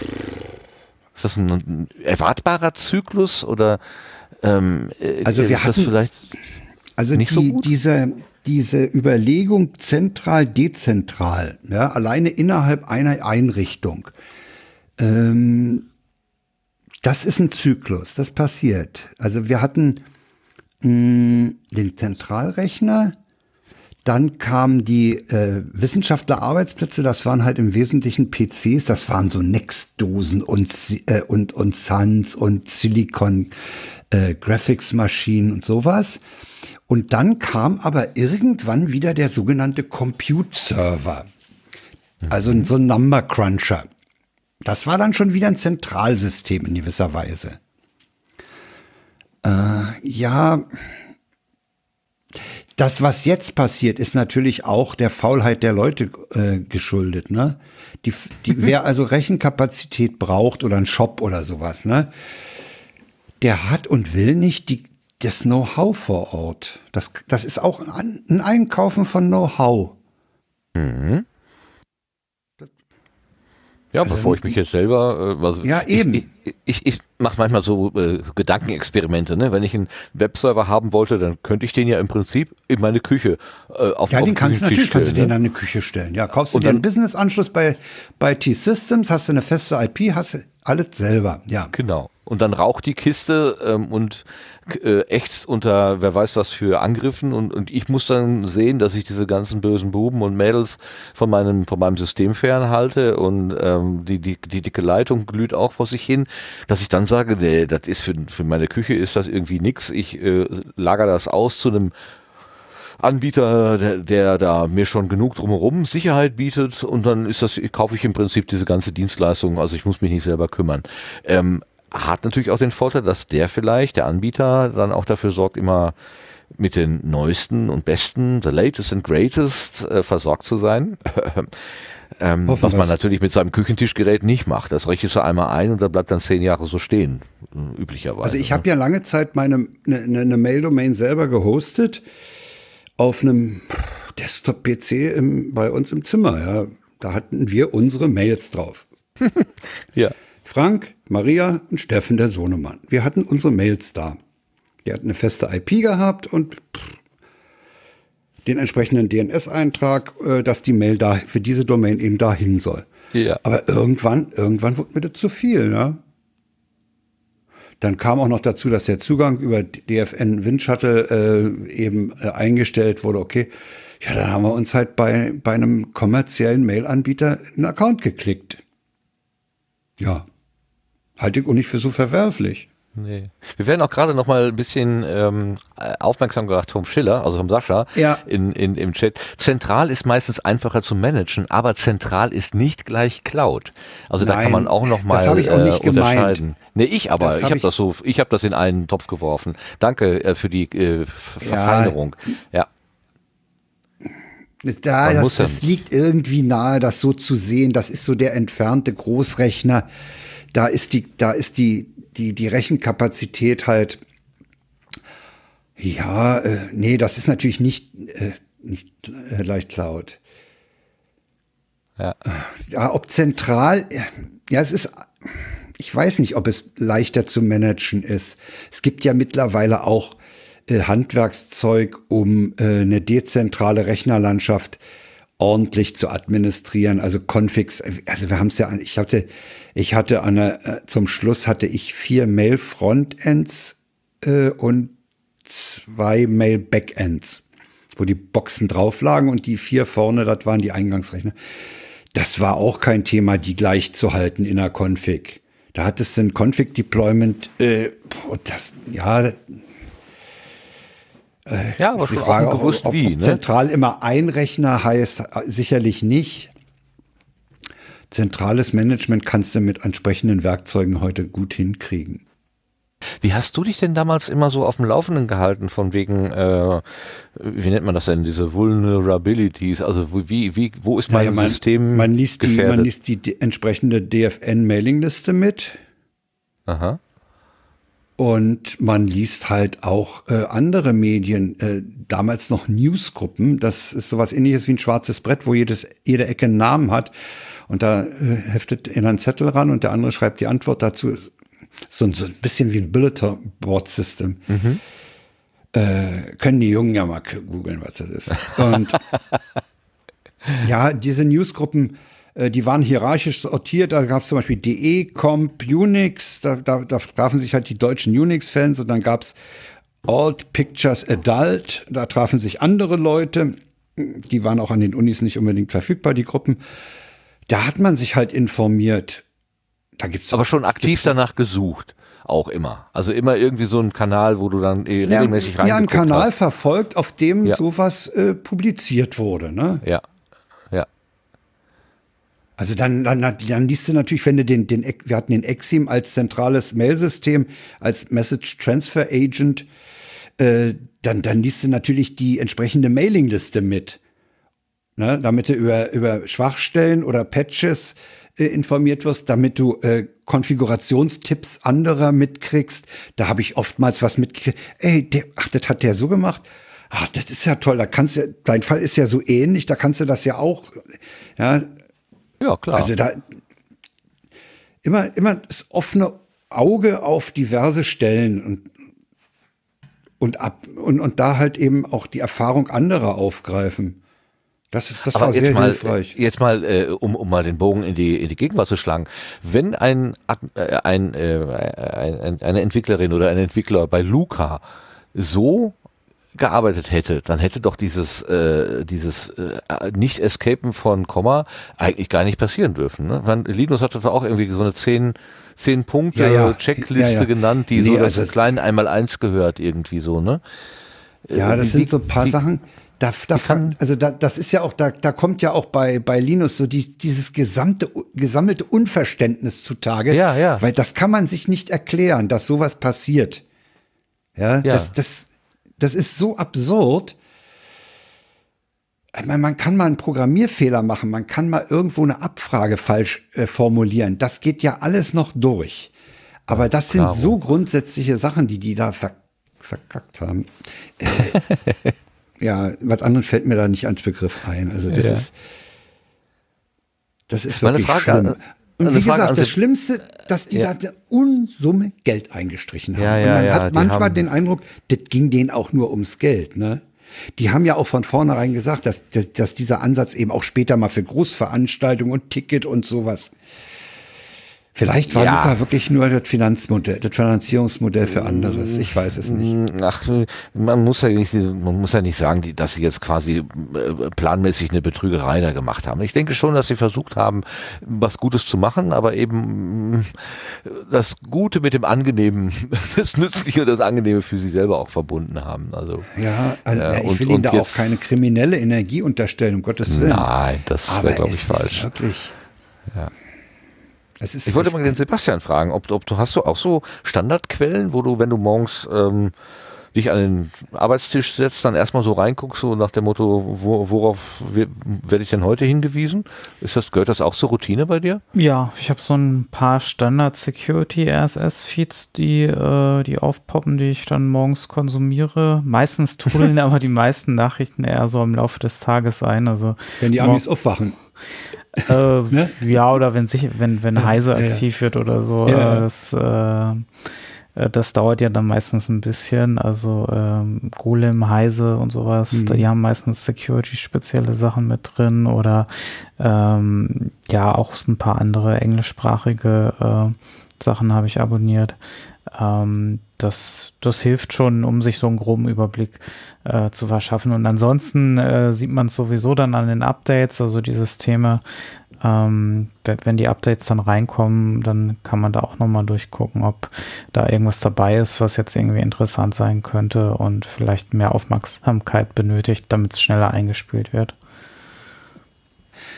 Ja, hier schreibt gerade einer im Chat, ich gucke aber in Chat, Standardquelle blogfefe.de in Kombination, benutzt hier jemand, Punkt, Punkt, Punkt. ja, ja. ja, ist das, ja aber äh, also ich bin, wie gesagt, immer noch auf dieser DFN-Zert-Liste. Äh, die äh, Patches, äh, die, die sagen, also es gibt hier für, für äh, Image Magic ist eine Lücke bekannt und äh, Patches stehen zur Verfügung für Ubuntu und äh, CentOS und Red Hat und sowas. Da bin ich immer noch drauf und ich versuche auch meine Systeme hier. Ich habe ein Desktop-System, das ist ein Fedora 33, das soll in den nächsten Tagen noch ein 34er werden und ein Laptop unter Fedora. Also die äh, versuche ich schon aktuell zu halten, obwohl die eigentlich dem die sind ja nicht von außen erreichbar und, und sind nicht an den Angriffen ausgesetzt, denen andere Institutionen auch an, ausgesetzt sind. Ne? Also ich meine, ich habe nach außen hin habe ich einen SSH-Port auf einer, auf einer nicht üblichen Nummer offen, damit ich von außen unter, von unterwegs mal reinkomme, aber mehr ist da auch nicht. Insofern äh, ist das Angriffspotenzial bei mir sehr gering oder der, der, der Angriffsvektor ist praktisch nicht vorhanden. Ja. Aber es interessiert mich halt schon, äh, was so äh, Software, die ich verwende, für Schwachstellen hat. Ne? Also gerade so Image Magic, äh, da wache ich dann schon auf und sage mir, okay, dann kriegst du irgendwann mal ein versifftes Bild zugeschickt. Das willst du nicht haben. Genau. Äh, das BSI, also Bundesamt für Sicherheit in der mhm. Informationstechnik, ist das auch eine Quelle oder ist das eher so, na, verschnafen? Ach ja, Martin, das ist, das ist für mich ein ganz, ganz zweischneidiges Schwert, dieses BSI. Warum? Ähm, weißt du, an, am Tage, als die die neuen den Staatstrojaner durchgewinkt haben, hm, an dem ja. Tag hat das BSI in seiner Ausprägung Bürgerzert vor Trojanern gewarnt. ja. Also ja. da rollen sich mir die Fußnägel auf. Und das BSI hat ein Problem. Das BSI ist nicht unabhängig. Das BSI ja, genau. unterliegt dem Innen, untersteht dem Innenministerium. Und Linus hat auch vor langer Zeit immer wieder darauf hingewiesen. Und die, die, ich will ja nicht sagen, dass die am Staatstrojaner mitprogrammieren, aber ja, alleine die Tatsache, dass die eben am Tag, als der Staatstrojaner durchgewinkt wird, vom Trojaner waren, das zeigt schon das Dilemma, in dem auch das BSI ist. Das ist ein Dilemma, ja, die, die sind zwischen Baum und Borke in gewisser Weise. Aber als, als, ja, als Quelle von Warnungen, ja gut, kann man sie wahrscheinlich schon nehmen, aber äh, die Frage ist eben, ob sie auch wirklich vor äh, alle Schwachstellen, äh, ja, ob sie nicht Schwachstellen zurückhalten, weil der Staatstrojaner sie braucht. Ne? Ja. Das ist die Frage. Und Na, ich, ich, wollte, ich hab, wollte nur mal so fragen. Also, also ich habe da ein sehr, sehr, sehr gespaltenes Verhältnis zum BSI. Ja. Grundsätzlich finde ich das toll, im Bundesamt für Sicherheit. Ja, aber äh, bitte dann macht's, macht sie wirklich unabhängig, äh, ordnet sie, packt sie dann vielleicht zu irgendwelchen, ja, äh, schließt da mehrere Leute zusammen, packt da T-Systems, DFN und andere Provider zusammen, dass die für die Sicherheit sorgen, dass da Kompetenz gebündelt wird, kann ich mir alles vorstellen. Ja, also so eine, so eine hm, übergeordnete Institution, die verglichen, ja, wie, wie die, wie die Länder an, äh, die Länder der, der ZDF äh, im Prinzip betreiben oder, oder stützen, dass man sowas hat, dass eben kompetente Institutionen äh, dieses BSI, dieses Bundesamt dann beschicken oder, oder äh, äh, finanzieren, äh, so, so eine Dachorganisation sich schaffen. Das, ja, könnte man in die Richtung würde ich denken. Aber beim Innenministerium, das ist einfach blöd. Ja, ja, ja. ja. Ja, ich habe deswegen gefragt, weil ähm, der äh, Sascha schreibt hier im, im Chat, und das hat der Sebastian auch erwähnt, äh, die Quelle Heise beispielsweise und der Verlag, ja. ein Fachverlag, äh, dass man da am, am, am Heise-Ticker äh, mitliest. Ich mache ja. das auch, äh, weil ich verstehe zwar die Hälfte der technischen Aspekte nicht, aber manchmal sind ja auch einfach so juristische Entwicklungen ja, oder was auch immer, werden da ganz gut erklärt oder man kriegt überhaupt mal einen Hinweis darauf, dass sich irgendwo was tut und kann dann da entsprechend weiter. Also Hinweise äh, auf juristische Fang Fallen finde ich auch ganz ganz interessant. Aber ich finde das, ähm, die, sagen wir mal, die, ich finde es irgendwie so ein bisschen nur zweitgut, die Informationen über äh, wichtige technische, auch Gefährdungen, äh, dann so einem, so einem Fachverlag zu überlassen und das nicht vielleicht dann doch über sowas wie BSI ähm, in so eine Art behördliche Struktur zu gießen. Also das, ich, ich, irgendwie, ich mag den Heise, alles was da rauskommt, ist irgendwie nett und ich, da gibt ja auch einen tollen Podcast über Datenschutz und die CT-Uplink-Podcasts äh, sind auch toll. Ich höre da gerne rein, aber es ist halt ein, ein Verlag, der eigene Schwerpunkte setzt. Ähm, ja, weil, äh, ja, aber du bist, du bist aber darauf angewiesen und nutzt ihn gerne, weil du nichts anderes bundesweites hast. Ja, genau. Das ist mir gerade so durch den Kopf geschossen irgendwie. Du und hast das ja das wäre BSI, ja eigentlich eine gute. Ja, ja, aber wie, da, da kommt halt, da kommt halt die Zweischneidigkeit dieses Schwerts zu, hm. für mich zum Tragen.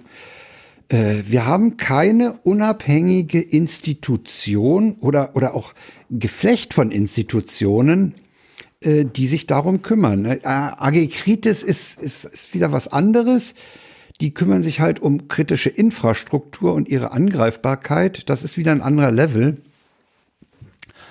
Aber pff, ja, ja, du hast recht. Ja. Es gibt.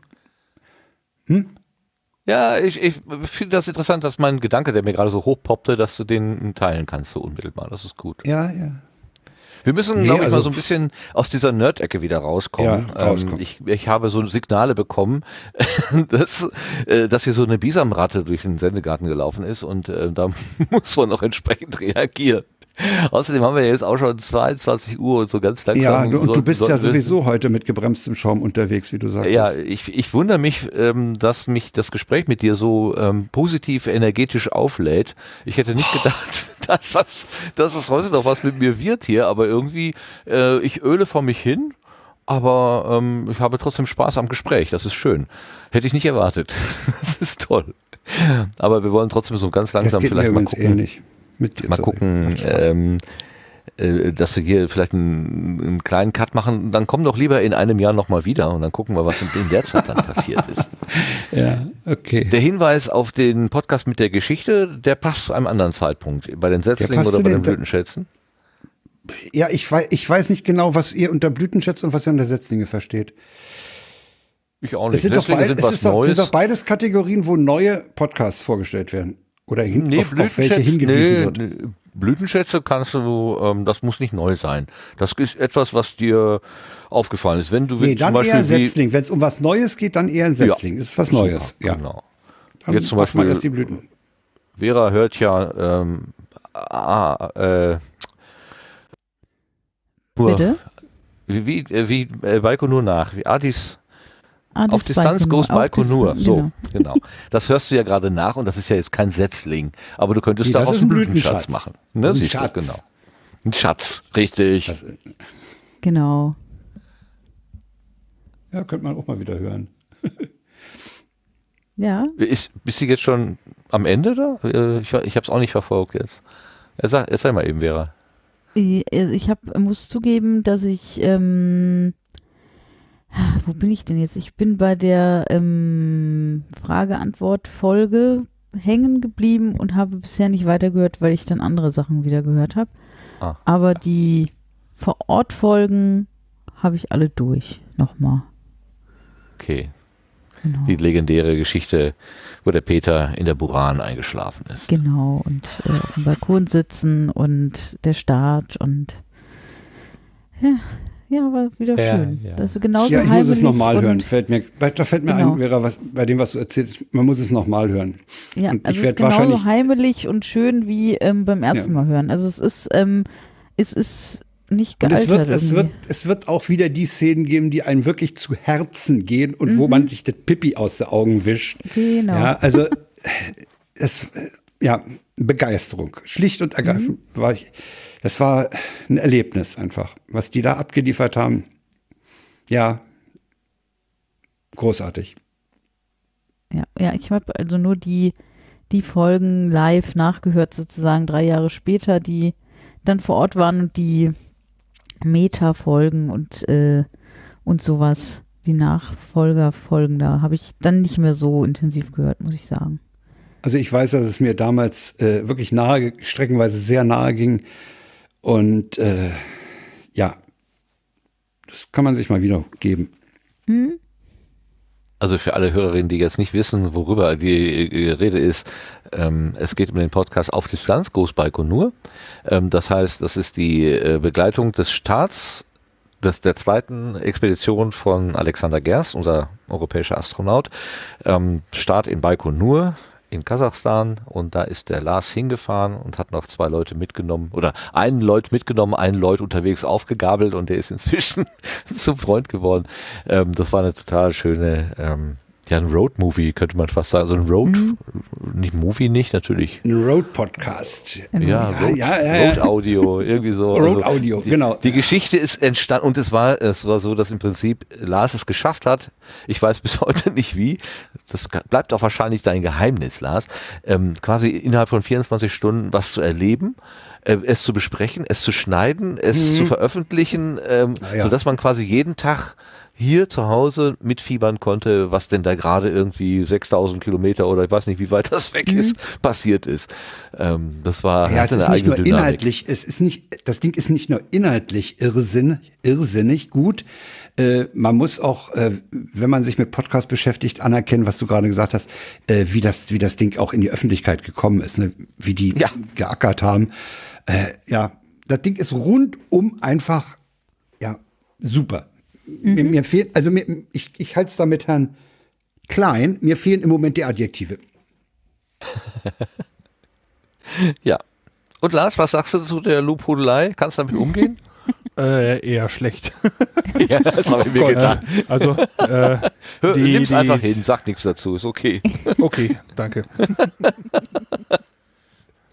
Ja, ich weiß. Ich habe da noch einen manchmal schwer. Bibelspruch, Lars, und bewegte es in seinem Herzen. Oh, Ne? Ja, aber ich möchte da noch mal hin, glaube ich. Kann ich verstehen, ja. Willst du jetzt nicht lieber nach äh, ähm, da, wie heißt denn das jetzt, wo die, wo die große, dicke Rakete startet? Boca Chica nach Texas? Oh, da würde ich natürlich auch wohl hinfahren, aber erstmal äh, ist die Idee im Raum Cape Canaveral, also ähm, die, die steht im Raum. Da muss man mal gucken, wie das so wird mit Pandemie und so. Auf historischem Boden. Genau. Ja, es gut. Wird ja, wird ja wieder ein deutscher Astronaut, also ein europäischer Astronaut Mhm. mit äh, einem deutschen Pass, so sagt, drückt es, glaube ich, Jan Wörner aus. Äh, ähm, Ah, ja, ähm, wird ja wird ja diesen Herbst starten und äh, ist, äh, die Idee ist im Raum äh, von dort auch zu berichten, aber die Das Lage ist, Matthias unübersichtlich. Maurer. Oder? Matthias Maurer? Genau, ja. Ja. Auf Distanz Aber äh, das würde würd ich gerne tun, ja. Das, äh, darauf werde ich auch erstmal hinarbeiten. Bei Matthias Maurer werde ich nie vergessen, ich habe eine Doku über ihn gesehen, wie er da so, so Trainingseinsätze in diesem großen Wassertank Bassin gemacht hat, da auch mit so einem, also quasi den Außeneinsatz auf der ISS Ja. geübt hat.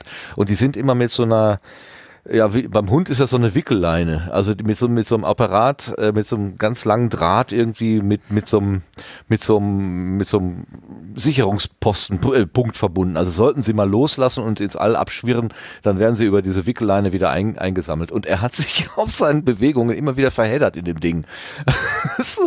um die Beine herum und so. Also wie so ein Hund, der, ne, wenn du mit so einer Wickelleine unterwegs bist, dann musst du ja auch manchmal das Bein wieder aus der, aus der Leine raus friemeln. Also das sieht man ja häufig. Und, und äh, das war sozusagen sein großes Problem, dass er sich in der Wickelleine nicht total verheddert. Super.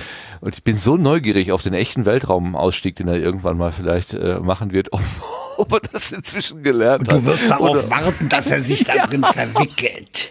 Gib's zu. Du wartest das so, darauf, dass er das sich ist verheddert. So böse von, ja, das ist so ja. böse von mir, aber das war, das war wirklich so, also, ne, äh, du, also wahrscheinlich kann er alles. Er kann wahrscheinlich äh, äh, alles aus dem FF, aber er hat halt eine, eine Schwäche, nämlich diese Wickelleine. das ist so, das ist ein Kryptonit. ist, der Gedanke ist einfach zu niedlich. Dass er sagt, Houston, I, I've got, I've, we've got a problem. A problem. naja. Wir hatten ja gestern noch einen Aus, Ausstieg äh, und da gab es tatsächlich auch Probleme. Da war irgendwie die ähm, Schalltafel auf einem der Anzüge hat nicht richtig funktioniert und irgendwas mit der Kühlung hat auch nicht funktioniert. Da haben sie eine ganze Stunde verloren, weil sie einfach gesagt haben, halt, wir brechen hier ab, wir stellen erstmal sicher, dass wir die Leute nicht in Gefahr bringen. Das war für die Arbeit nicht schön, aber für die Sicherheit gut, muss man einfach sagen. So, wir machen jetzt hier auch äh, auf sicher und äh, machen sicher jetzt mal die Gartenbank zu. Ja, mach mal. Und äh, danke, ich möchte aber noch, noch herzlich danken, Frank. Auch, dass du so spontan letztes Mal auch angeklopft naja. hast und gesagt hast, hier, ich habe schon Lust, mich mit euch auf die Gartenbank zu setzen. Spricht ja, auch habe ich denn hier Mikrofon und Interface? hast uns damit auf jeden Fall eine Ehre. Nee, dazu Dankeschön. kommt auch, dass ich, dass ich eure Runde halt einfach toll finde. Muss ich mal auch sagen, das macht einfach Spaß. Danke. Ja. Das sind auch nur tolle Leute hier. Ja, klar. Und mit Vera ja. haben wir noch mal das dazu gewonnen. Ja, das, ja, das, das wurde ja schon häufiger gesagt, dass das ein Zugewinn ist.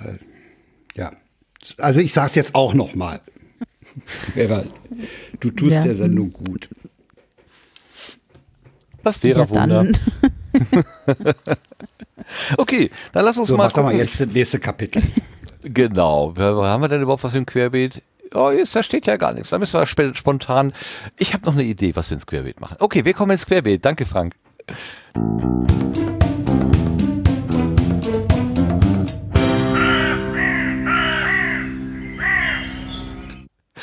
Ich muss lachen, denn wir hatten heute Nachmittag eine kleine äh, also wir haben so einen Redaktionskanal und da werden manchmal so Informationen ausgetauscht. Und äh, zum wiederholten Male machte, äh, äh machte Lars, jetzt hätte ich bei der Ralf zu dem fassen.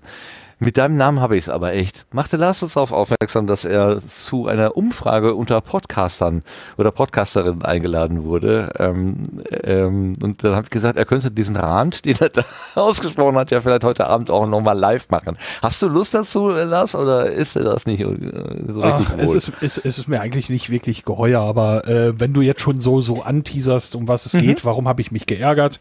Äh, äh, ich habe eben mehrere Projekte im Netz, davon sind nicht alle regelmäßig bespielt, aber es gibt eben fünf Podcast-Projekte und tatsächlich hat jedes einzelne Podcast-Projekt eine E-Mail bekommen für eine wissenschaftliche Arbeit, doch bitte an einer Umfrage teilzunehmen. Und äh, davon nicht genug. Nach ein paar Wochen kam dann auch noch eine Erinnerung äh, äh, an eine Umfrage, für die ich mich nie interessiert habe und von der ich nie was wissen wollte und auch äh, ähm, bereits zuvor un äh, unangeforderte E-Mails und unerwünschte E-Mails erhielt und das nervt mich. Und ja, äh, ja das ist eigentlich schon alles. äh, war das jetzt beim zweiten, bei der zweiten Ansprache nochmal eine andere Person? Äh, nee, äh, unterschrieben, in Anführungszeichen war es mit dem gleichen Namen. Ah, mit ähm, witzig, okay. witzig war noch, dass in der zweiten Mail äh, der, die URL zu der Umfrage offenbar personalisiert war. Ähm, in der ersten Mail ähm, hatten alle äh, alle E-Mails, also alle URLs in den unterschiedlichen E-Mails die gleichen, waren die URLs identisch.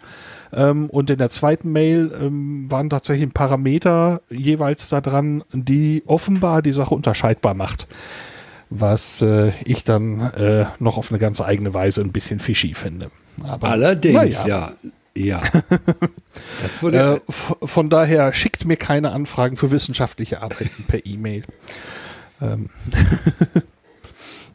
Ja, das ist, das ist so ein zweischneidiges Schwert.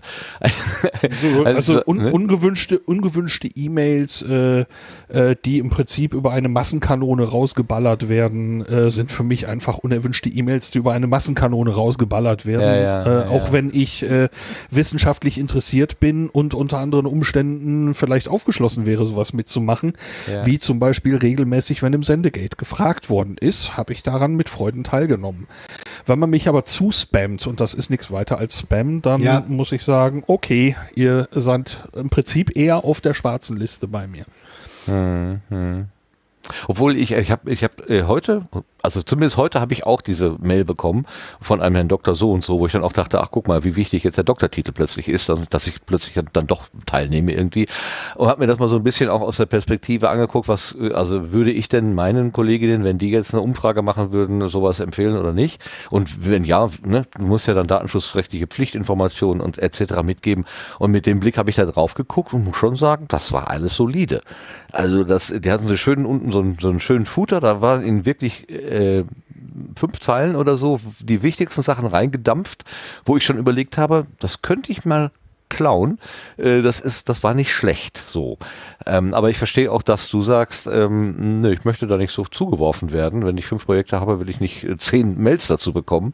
Ähm, das ist nicht notwendig und ähm, ich möchte über meinen den Eingangskanal auch irgendwie so ein bisschen selber verfügen können. Ja, verstehe ich habe da eine Anmerkung Ärger. zu. Ich habe mhm. da eine Anmerkung zu. Ich weiß aus meiner Zeit als Postmaster, dass oft Anfragen kamen, wie kann ich denn an der TU viele Leute er, äh, erreichen? Ich mache da so eine Studie oder so. Die mhm. haben teilweise, hat die Studentenschaft einfach auch das Problem, eine Testperson Klientel zu kriegen. Ne? Ja, ja. Und das ist, das ist wirklich haarig. Die fragten dann, gibt's denn da nicht bei euch eine Mailingliste, wie ich alle Studenten erreichen kann? Oder könnt ihr mir nicht sagen, äh, oder so. Äh, und andererseits eben auch Studenten der TU, die dann fragen, wie kann ich denn möglichst viele Leute erreichen und sowas, ne? Also das, ja. das die Problematik sehe ich schon, aber ich kann auch verstehen, dass der Lars genervt ist. Ja, genauso. Ja, genau. Ja, ne? ich, ja? ich muss noch mal eben ein, zwei Dinge dazu sagen. Also was Sie da unten drunter stehen haben in der Mail, Martin, ja, da geht es eben darum, äh, wo haben wir die Mailadresse her und wie sieht das aus mit dieser Umfrage? Die erfolgte anonym und bla bla bla und wir machen nichts mit den Daten, bla bla bla.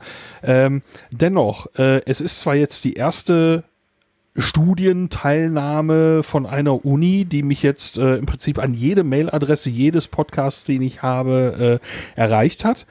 Aber ähm, wir haben eben in der Vergangenheit auch schon mehrere Studien gesehen. Und wenn jetzt alle ja. Podcast-Studien anfangen, Mails zu verschicken, dann wird's aber nervig. Es war jetzt ja. schon nervig. Ähm, ja. Deswegen, äh, auch wenn die formal alles richtig machen, ich glaube, sowas ähnliches heute schon mal irgendwie gefallen beim anderen Thema. Man muss nicht alles machen, was man machen kann. Ja, das stimmt ähm, natürlich. Und das mit dem Anonymisieren, das, das kriegt ja schon äh, ich sag mal, ein Eselsohr, äh, wenn du sagst, die waren dann im, im zweiten Durchgang äh, mit Parametern versehen, ne? Ja. Dann, dann, Hoppla, jetzt habe ich mich gemutet. Ja, warum auch immer, ne? Also der, dieser ja, ja, Param ne? äh, die, die, Parameter waren in der ersten Mail alle gleich, in der zweiten alle unterschiedlich. Tja. Ja. Das, also es kann trotzdem müffelig. beides stimmen. Es, es, es, ja, ja, es kann trotzdem beides stimmen, aber äh, äh, ja. ähm, so der erste Eindruck, den ich davon bekomme, ist so, mh. Ja, ja, ja, also zum Beispiel ähm, ja. eben erwähnt bei einer Institution, die zum Beispiel regelmäßig Studien machen, da geht es um äh, Verkehrsstudien, um äh, individuellen, äh, motorisierten Individualverkehr, um autonomes Fahren und so weiter. Da habe ich mich bewusst auf eine Liste nehmen lassen und lasse mich von denen, nachdem ich Opt-in genutzt mhm. habe, für Studien anschreiben und mache dort eben auch regelmäßig mit. Ähm, aber äh, dieses, äh, äh, diese, ich hätte fast gesagt, diese Kaltakquise oder wie man es nennt, da einfach mal ja. aus der großen Kanone rausballern, nee, damit bin ich nicht zufrieden. So, aber dann können wir auch gerne von meiner Seite aus einen Deckel drauf machen. Ich habe sowieso schon viel mehr dazu gesagt, als ich eigentlich wollte. Ja, ich habe dich verleitet, Entschuldigung. Aber die Frage ist ja so ein bisschen, wie sind ihr an all diese ähm, Adressen gekommen? Hat da, hat da irgendeine arme studentische Hilfskraft äh, das FIT-Verzeichnis durcharbeiten äh, arbeiten müssen und jede, jedes Angebot anklicken und dann die Impressumsadresse äh, daraus fischen müssen? Oder, ähm, oder gibt es da auch Möglichkeiten, das, sagen wir mal, äh, automatisiert zu machen, so wie der Dirk Ähm, Prims da irgendwie das Apple-Podcast-Verzeichnis gescrapt hat? Kann man sowas wenn ich vielleicht jetzt auch so machen? raten, wenn ich mal raten soll, würde ich sagen, äh, dass sie vielleicht äh, aus Feeds äh, was genommen haben. Würde ich auch so sehen. Und dann Info-Ad oder Mail-Ad. Ne? Ja. Ja, Ich, oh, ich sehe meine, gerade, der Max Schneider schreibt hier gerade äh, ein Zitat. Ihre E-Mail-Adresse stammt aus öffentlich zugänglichen Informationsquellen zu Ihrem Podcast. so ist das, Äh, genau. Das äh, steht wörtlich in der Mail. so Hat er drin, auch ja. bekommen, offenbar. Also, So, und äh, äh, Ja, gut. das Netz war groß. Also das Fangnetz. Also es gibt eben das iTunes Owner-Feld äh, im Feed. Äh, Und das ist bei mir eben auch ausgefüllt. Ähm, und das heißt, das könnte man maschinell durchlaufen lassen, wenn man sich einen Haufen Feeds nimmt und eben das iTunes Owner, im, also im iTunes Owner Element im Feed gibt es iTunes E-Mail und da steht eine Mailadresse drin, zumindest bei mir. Aber wir sind uns einig, das ist nicht die feine englische Art. Nee, Lieber es ist irgendwo ein Plakat aufhängen im Sendegate oder so und sagen, hier, wir suchen oder vielleicht auch empfehlen lassen. Einige äh, Umfragen sind ja hier auch quasi von Hand zu Hand per Mundpropaganda weitergegeben worden. Aber diese Kaltakquise, wie du sie nennst, was ja auch sehr zutreffend ist, das ist schon eher nervig. Und vor allen Dingen nach, äh, wenn, wenn du dich nach Erstansprache nicht gerührt hast, dann ist das ja ein Signal, dass du dich da nicht, dafür interessierst, ja. Dann den Leuten nochmal nachzulaufen und Das ist schon womöglich dreist, jetzt noch ein, ne? Noch ein drittes Mal, Ja, äh, dann wird es langsam wirklich, Ja. ähm, ja, Also ich finde den zweiten, den zweiten Schuss, die sozusagen die erste Mahnung, finde ich schon ganz schön hart, ja. ja, das wird ja auch gerade kolportiert im, im Chat, ne? Ähm, äh, dass man sozusagen wissenschaftliche Umfrage, erste Mahnung. Sicherlich ist es ihrer Aufmerksamkeit nur entgangen. Ich meine mich Ja, sogar okay. zu erinnern, dass in der ersten Mail irgendwie noch äh, irgendeine Art Gewinnspiel drin war, um die Leute irgendwie zur Teilnahme zu verführen. Ähm, da bin ich jetzt aber gerade, da müsste ich jetzt tatsächlich mal eben nachgucken. Ähm, das ist vielleicht. Hat dich wahrscheinlich ein- nicht interessiert, weil der Gewinn dich nicht interessiert hat. Nein, man kann mich mit einem Gewinn nicht verlocken an der Stelle. Entweder mache Ja. ich das aus Überzeugung. Äh, ne? Ja, ja. Also ich bin durchaus Konsument und wenn mir jemand irgendwie ein technisches, technisches Gadget vorstellt, kann es durchaus sein, dass ich einen haben wollen Impuls verspüre. Aber ähm, äh, äh, sagen wir es mal so, da kommt jemand mit irgendwas und will was von mir. Ähm, das ist erstmal äh, und ähm, wir wollen immer noch was von dir. äh, nee, irgendwas äh, äh, klappt so. Ach ja, zudem verlosen wir unter allen TeilnehmerInnen am Ende der Umfrage 10 Gutscheine im Wert von jeweils 25 Euro für den Online, für, ein, für einen Online-Buchhandel. Ich sage jetzt nicht welchen. Und übrigens, die Teilnahme an der Verlosung ist freiwillig. Da hat man aber Glück. Nun denn. Ja, das sind gesetzlich geforderte Informationen. Also das, äh, ja, das, da denkst du auch manchmal, hä, haltet ihr mich für doof? Ähm, hm, ja. Aber gut, äh, ich verstehe deinen deinen Ärger sehr gut. Hier wird jetzt- ähm, im, im Chat wird als Preis ähm, ein, ein Dreieck mit vier Dreieck Ecken ausgelei- ausgelobt. Das finde ich sehr Ich gut. meine, ey, Martin, wenn du sowas an, als Chance siehst, da, da machst du natürlich mit, ne? Ist klar, willst du haben. Dreieck mit vier Ecken will ich haben und einen Einkaufsgutschein für 25 Euro bei irgendeinem ähm, Buchhändler unbedingt auch. Brauche ich unbedingt. Und den Quelltext der Luca. App. Naja. Mit Oh, Autogramm von Zumudo, genau. Ach, Mann, Mann, Mann, ja. Ach, ist doch gut, dass wir drüber lachen können. Nimm's nicht zu ernst. Ich hoffe, dein Ärger ist wieder langsam verraucht, Lars. Äh, ja, es wird gleich wieder irgendwann besser. Oh, ich hätte es vielleicht doch Nein, nicht alles- ansprechen sollen. Alles, alles gut. Oh, ja, ja, ja, dann ist alles gut. gut. Ich ärgere So, mich ja über sonst- die, nicht über dich. Also, es- ja, aber ich habe es wieder, du hattest es schon äh, verdrängt und ich habe es wieder hochgeholt. Naja. Aber ich fand es einfach interessant äh, und äh, doch auch mal ein Wort wert. Also Menschen, die das jetzt vielleicht auch hören und sowas wie eine wissenschaftliche Umfrage vorhaben. Also erstens muss Podcast nicht unbedingt jetzt ähm, also das neue Ding erforscht werden. Man kann es auch einfach nur nutzen und äh, genießen. Aber gut, ich verstehe auch, dass die Leute nee, da es, es ist ja vollkommen okay zu forschen. Ich finde es nur blöd, auf diesem Weg zu fragen. So, also, ne, das ähm, ist wichtig. So. Genau, die Ansprache. Die Ansprache war es. Richtig, richtig. So, haben wir sonst noch was im Querbeet? Irgendeine eine, eine Sache, die passiert ist, irgendwas Technisches? Also du hast ja, Lars, ein neues Studio, aber da reden wir beim nächsten Mal drüber, wenn Äh. das alles so kommt, wie, wie wir das geplant haben. Äh, ja, es ist ähm, ähm, also äh, technisch eigentlich alles beim Alten geblieben. Das kann ich schon mal spoilern. Aber äh, naja, mal gucken, was du mich denn dann fragst nächste Woche, äh, nächstes Mal. Ach, äh, ähm, ja, das weiß ich jetzt natürlich auch noch nicht. Das ist ja spontan. Und äh, wir bekommen ja dann hoffentlich auch Unterstützung und dann können wir ein bisschen fachsimpeln. Ich hoffe, Vera wird es dann nicht wieder zu langweilig und es passt nicht. Komm, laufen nicht wieder zu viele Bisamratten durch den Garten hier. Da müssen wir mal gucken. Ist das irgendwie. Ähm, also, Dann bin ich sollen wir es verraten, so müde warum, warum wir von Bisamratten reden? Oder lassen wir es einfach offen? nee, komm, erklär mal, das ist unfair Es, für die es wäre schon fair, es zu erklären. Ja, ja, ja. Erklär mal, Also es äh, ist Vera, ja- was, was ist, hat, hat es damit auf sich? also das mit den Bisamratten ist ja irgendwann irgendwo, ich weiß gar nicht wie, äh, aufgekommen, dass ähm, sich mehrere uns bekannte Podcastende über Technikkram unterhalten haben und irgendwann das Safe Word äh, ähm, Bisamratte ins Leben gerufen worden ist.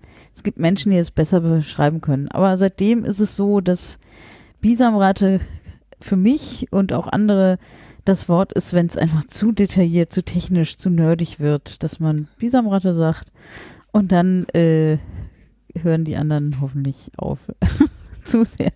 Nee, ich habe eben vorhin, als ihr euch da, ich weiß nicht mehr, über was ihr euch unterhalten habt, weil ich einfach irgendwann weggeschwiffen bin, weil ich aber auch müde bin. Das ist vielleicht auch noch.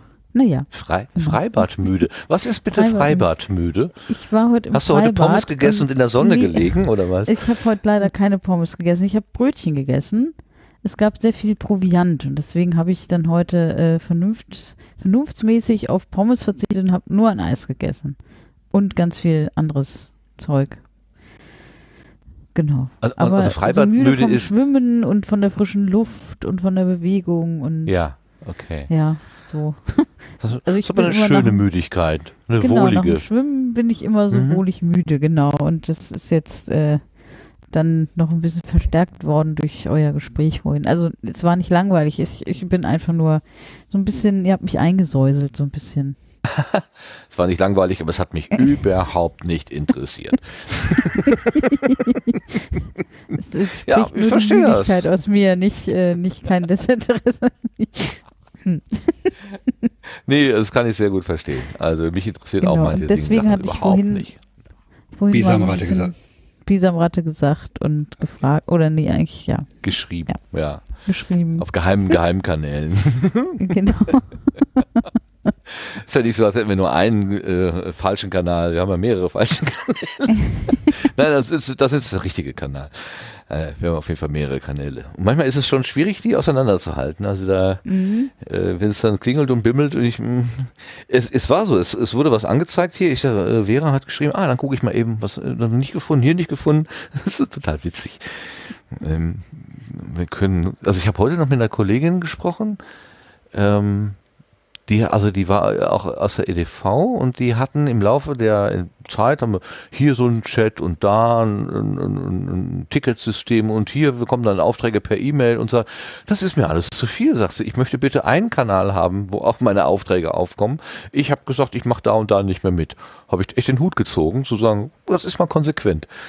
Die sagt, ich kann einen Kanal gut überblicken, den bitte bespielen, da, da nehme ich Aufträge entgegen, schmeißt mich nicht von allen Ecken zu, das kriege ich alles nicht mehr unter, unter einen Hut. Jo, das ist mal eine, Position, fand ich gut. Ja, sehr gut. Muss man aber erstmal die, den Arsch in der Hose haben, das dann auch in der Firma so zu sagen. Also, Respekt, Respekt. So,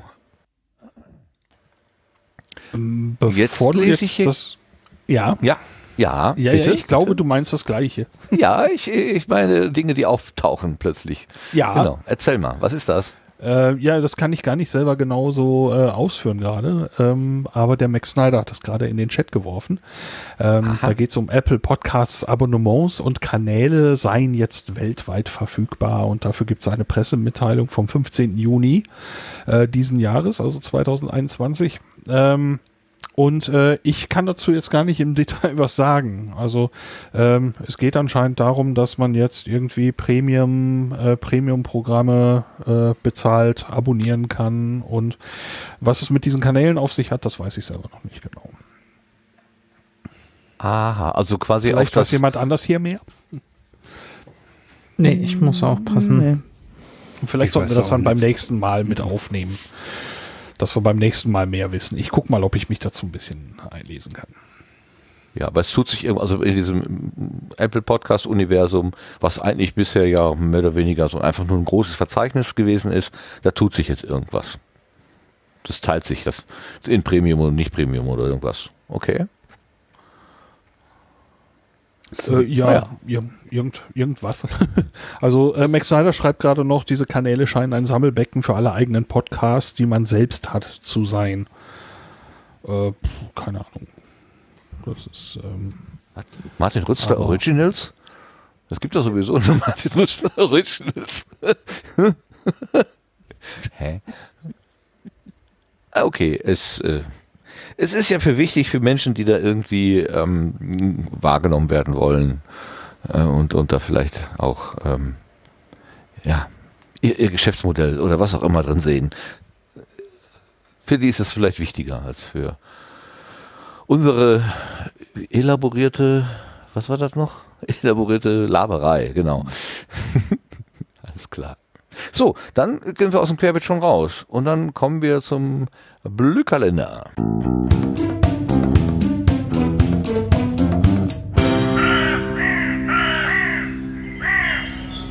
Gerade noch im Randmodus, jetzt im Kalendermodus ist der Lars.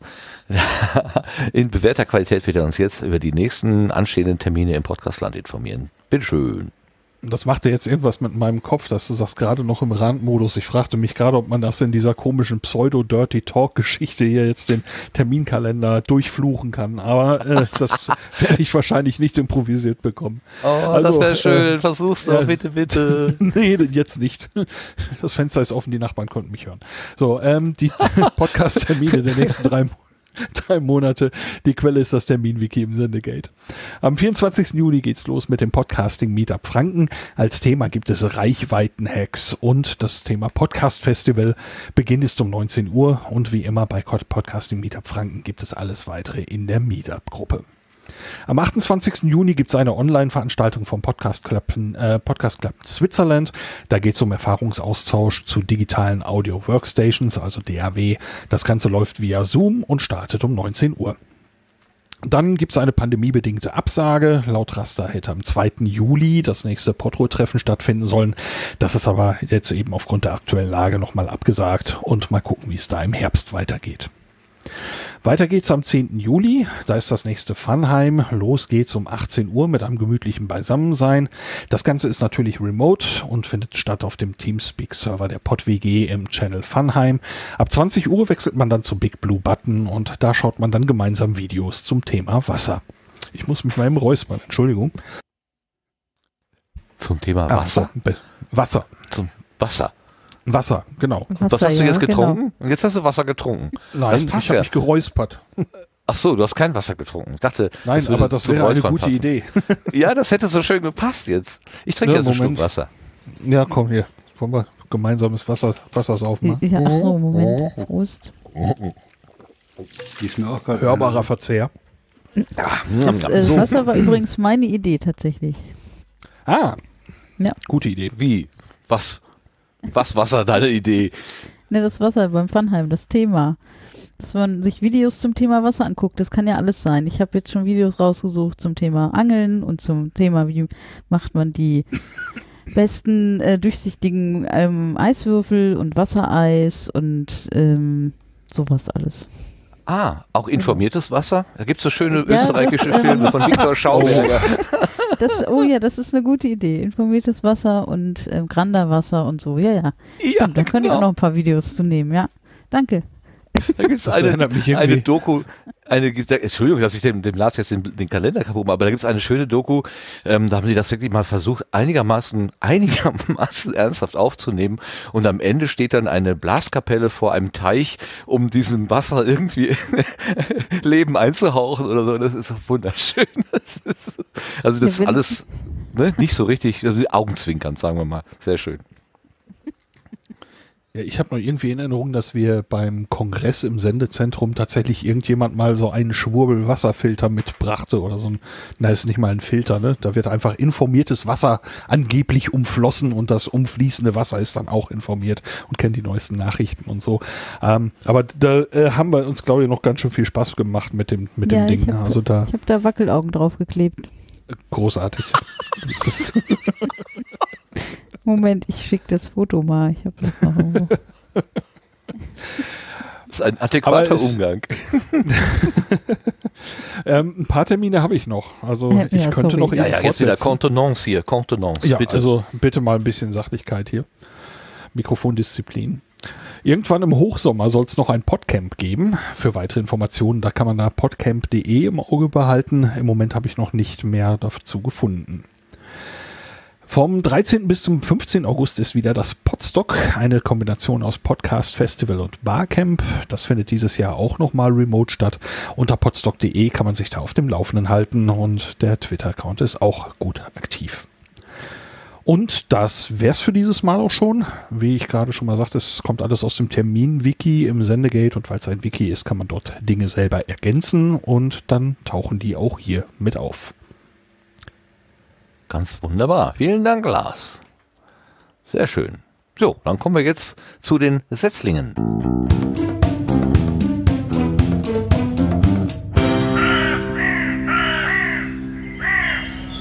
Der letzten Ausgabe sind wir ja einfach in das Fallback gesprungen, was ich jetzt hier neuerdings eingetragen habe, nämlich in die Nullnummernkuration von FIT. Also wenn wir sonst keine Setzlinge vor Augen haben, dann ist das ja eine gute, gute Quelle. Heute ist es aber anders. Ähm, heute haben wir tatsächlich einen empfohlenen oder ausgesuchten Setzling und ähm, ich vermute jetzt mal, dass der Frank dann auch seinen da äh, unterbringen wird. Aber wir fangen mal an mit dem, was die Vera mitgebracht hat. Du hast ein Setzling zu einem Thema, äh, was nicht ganz so lustig ist. Erklär mal bitte. Ach so, ja, das hatte mir, ähm, das wurde mir zugespielt. Ich muss gerade suchen, wo das war. Genau. Äh, ja, ein der Podcast vom äh, Auschwitz Memorial. Ähm, ja, genau. Also es ist ein englischer Podcast über Auschwitz.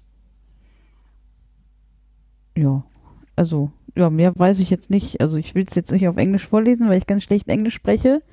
Äh, Mhm. Wenn das jemand von euch machen möchte, aber Wenn ich finde das. also ich kann, äh, ich würde sagen, den letzten äh, Satz oder die letzten beiden Sätze könnte man mal eben vorlesen, ähm, weil ich glaube, was Auschwitz war, ähm, ist, glaube ich, Allgemeinwissen. Um den Podcast, äh, da komme ich mal eben mit einem sehr deutsch akzentuierten Englisch daher. In the podcast on Auschwitz, we discuss the details of the history of the camp as well as our contemporary memory of this important and special place. Mhm. Das ist da, worum es geht. Also es geht um die Geschichte des, des Konzentrationslagers als auch um die Erinnerung an diesen Platz. Und die zeitgenössische ist, glaube ich, die richtige Übersetzung, oder? Ja, Contemporary ist zeitgenössisch, würde ich auch sagen. Also was heute quasi davon übrig ist. Mhm, Es- genau. Ich glaube, das ist nicht mehr so viel. Und was du gerade wie selbstverständlich sagtest, das sollte ja allen ein Begriff sein. Ehrlich gesagt, glaube ich das nicht mehr. Ich glaube, dass es Menschen, viele Menschen gibt, die da jetzt nicht sofort in, äh, wie soll ich sagen, ähm, wie, fühle ich mich, wenn ich Auschwitz höre? Ehrfürchtig, ängstlich, ähm, unwohl, weil da Dinge passiert sind, die ich so schlimm und grausam finde, dass ich es gar nicht erklären kann. Ähm, äh, mich, mich macht das sofort betroffen. Also wirklich, mhm. äh, und ich glaube nicht, dass, äh, also ich würde mir vorstellen, es gibt Leute, die könnten sich das Wort Auschwitz auf ihr T-Shirt drucken und damit stolz durch die Gegend laufen. Es gibt ja genug äh, Instagram-InfluencerInnen, die äh, vor dem Zeichen posen und irgendwie Pizza essen und äh, Werbung machen für irgendwelche Hautpflegeartikel oder so, die da extra hinfahren und ja, nicht, nicht wirklich ehrfürchtig sind. Da gab es auch zwischendurch mal dieses Bitte, Martin? Ja, äh, ich, ich, meine, insofern ist natürlich total wichtig, dass da auch wieder drüber oder mehr kommuniziert wird. Ähm, mhm. Ich hatte das auch gesehen und aber, aber weil ich selber, ich habe da ich, Berührungsängste. Ich habe wirklich Berührung. Ich würde da gerne mal hinfahren, aber ich habe tatsächlich mhm. Angst vor meiner eigenen Reaktion. Ich habe ja, Angst, dass ich das nicht, Geht dass ich das nicht, so, ja. dass, dass ja. ich da einfach, äh, ich hatte vor zwei oder vor drei Jahren hatte ich die Einladung bei einem studentischen Kurs, hätte ich da hinfahren können. Die haben sogar gefragt, ob ich das als Podcast begleite. Die wollten mich quasi als Podcaster da einladen. Und es wäre das Allereinfachste gewesen zu sagen, ja. Und ich habe drei Nächte drüber geschlafen und habe ich gesagt, nein, ich stehe das nicht durch. Also da habe ich echt Muffe vor. Kann ich nachvollziehen, Martin. Ja, also ich habe ich hab Dachau gesehen, ich habe Sachsenhausen besucht, ich war vor kurzem in Ravensbrück. Äh, ich sage mir, ich brauche, um aus der Geschichte zu lernen, brauche ich das Grauen nicht in dem Detailreichtum, wie es mir Auschwitz präsentieren würde. Das, ich brauche Auschwitz nicht, um das äh, zu empfinden, was du sagtest, dieses, ja, ne, also dieses, ja, wir waren's und darf nicht mehr passieren und sowas ich brauche diese, dieses i-Tüpfelchen Auschwitz brauche ich nicht dazu.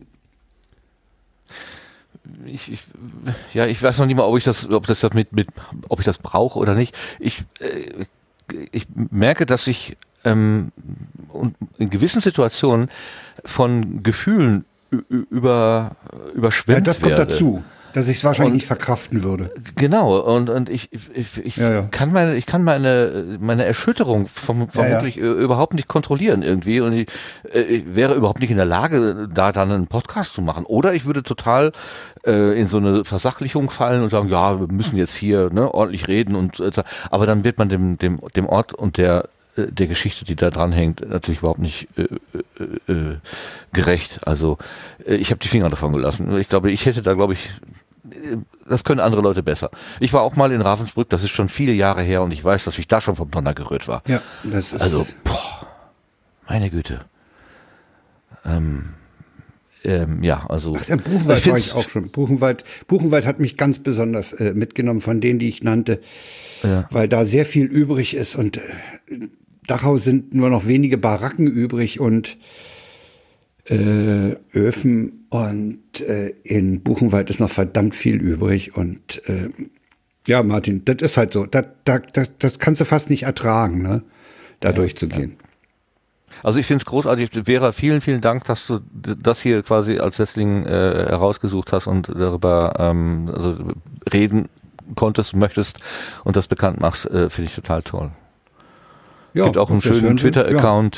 Ja. Also was heißt schöner Twitter-Account? Es gibt einen Twitter-Account aus der, aus der, ähm, ich weiß nicht genau, wie das heißt, also die äh, aus dem, aus dem äh, Zentrum, Auschwitz-Zentrum.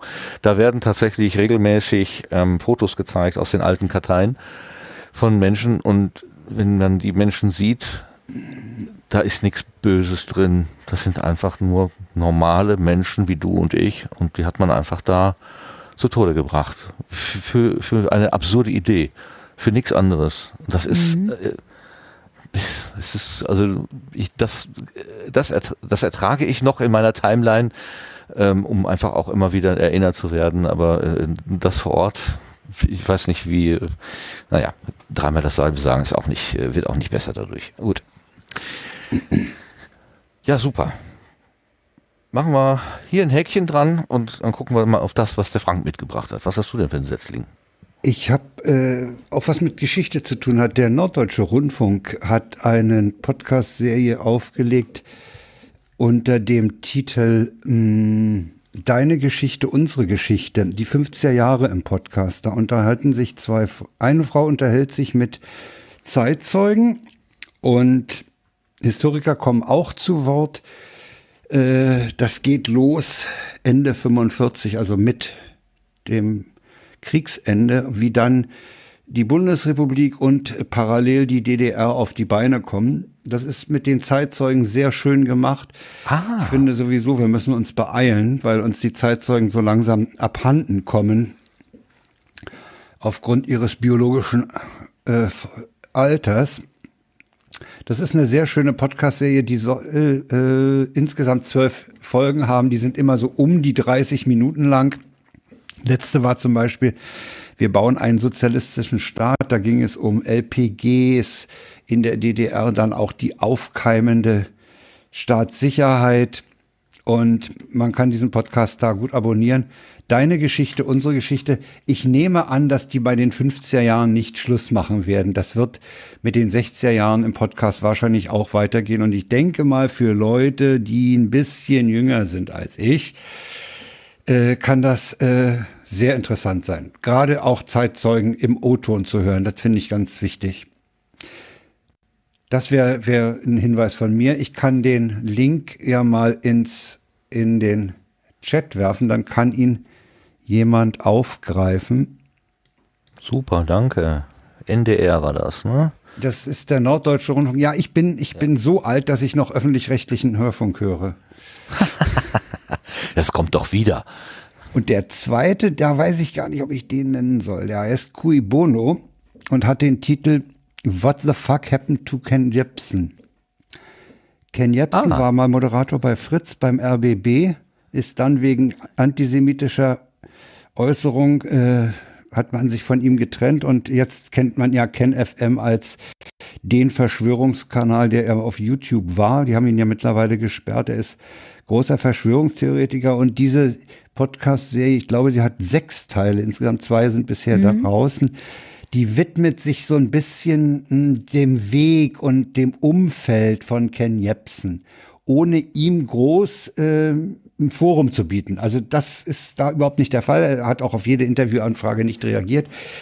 Äh, ein, das, das Ding ist co-produziert von einem, von Bumsen. Das ist so ein, so, ein, so ein Studio, was Podcasts produziert für andere. Der Norddeutsche ist dabei, der Norddeutsche Rundfunk und bis auf eine Folge auch der RBB, die ist eine Folge, die der RBB nicht co-produziert hat, das ist die, wo es um das Verhältnis Ken Jebsen zum RBB und seinen Rauswurf ging. Da fühlten die sich sozusagen äh, Befangen. Befangen. Befangen. Ja, genau. Ähm, Ja. Kann ich auch ins, in, in, die, in, in den Chat werfen, wer sich da so ein bisschen, also ich finde es ganz interessant äh, zu sehen, wie, wie, ich sag mal, wie Mensch abrutschen kann. Äh, ich habe die ersten beiden Folgen, die jetzt raus sind, ähm, ah, ja, Lars hat auch noch eine Audiothek gefunden, ja. Ähm, Audiothek akzeptiere ich ja auch noch, aber alles andere, was so Sp- Spot, können Sie unseren Podcast auf Spotify, dieser? Ja, ne. Nur mit RSS-Feed. Äh, Ja. Studio Bummens ist das übrigens. Was, Bummens heißen die, nicht Bummens Bumsen. heißen oder-. Genau. Bummens, Bummens äh, hat nämlich, äh, die machen auch äh, Toast Hawaii zum Beispiel, was ich ja auch schon Ja, die machen einige Podcast-Produktionen. Und dann habe ich gerade heute noch einen Hinweis, das ist kein Pod, ja, das ist ein, ein, ein, eine einmalige Sendung. Die finde ich aber gerade für uns hier, die wir zusammensitzen, äh, sitzen, ja, äh, ganz interessant. Der Deutschlandfunk hat eine Sendung produziert, äh, da geht es Stimme und Identität, unser akustischer Fingerabdruck. Habe ich noch nicht selber gehört, aber alleine der Titel, kurz bevor man sich in den Sendegarten begibt, um Podcast zu machen, fand ich das ganz passend. Ja, hier wirst du durchleuchtet. Ohne, ohne Röntgenstrahlen, aber mit Akustik. Ja, Genau. akustischer Fingerabdruck fand ich ganz interessant. Ja. Da geht's so. Ich werde ich auf jeden Fall äh, als eine der nächsten Sendungen mir reinziehen. Macht mich Ja. neugierig. Äh, Ist ein interessantes Thema, auf jeden Fall. Ja, ja. Und wir verraten natürlich auch jede Menge. Also äh, aus, aus unserem Akustigramm kannst du wahrscheinlich ableiten, ob ich äh, heute gut drauf bin oder schlecht drauf bin Ja, ja, oder klar. so. Oder Ja, wie viele Stunden ich letzte Woche geschlafen habe, letzte, letzte Nacht, letzte Woche, letzte Nacht geschlafen habe. Also das, ähm, man wundert sich ja manchmal, was diese Geräte so ausspucken. Ähm, Ja, das war's, was ich mitgebracht habe. Danke, super, Jo. super spannende Sachen. Vielen Dank. Ja, dann Bitte, lassen wir die, die, die, die Nullnummern-Kuration mal weg. Das brauchen wir ja dann nicht, das ist ja nur unser Fallback und wir kommen dann jetzt zu den Blütenschätzen.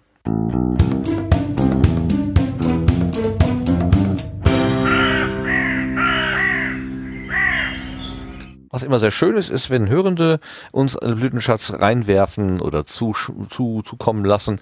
Ähm, ich hätte ihn beinahe nicht gesehen, weil er über Mastodon gekommen ist, aber der Arnim hat auch hat einen Blütenschatz äh, reingeworfen und er schrieb, ich habe gerade Rethinking Safety durchsuch, durch, durchgesuchtet, mein Gott. Ich habe gerade Rethinking Safety durchgesuchtet und ich liebe das Konzept, Sicherheit als Nebenprodukt zu erreichen und es lässt mich Einzelfälle neu bewerten. Martin Rützler schreibt da, das ist doch definitiv ein Blütenschatz. Das ist äh, bradyhaywood.com au slash podcasts. Ich habe mal den Klappentext, der auch in Englisch war, von einer Maschine übersetzen lassen und äh, lese mal vor, was da steht.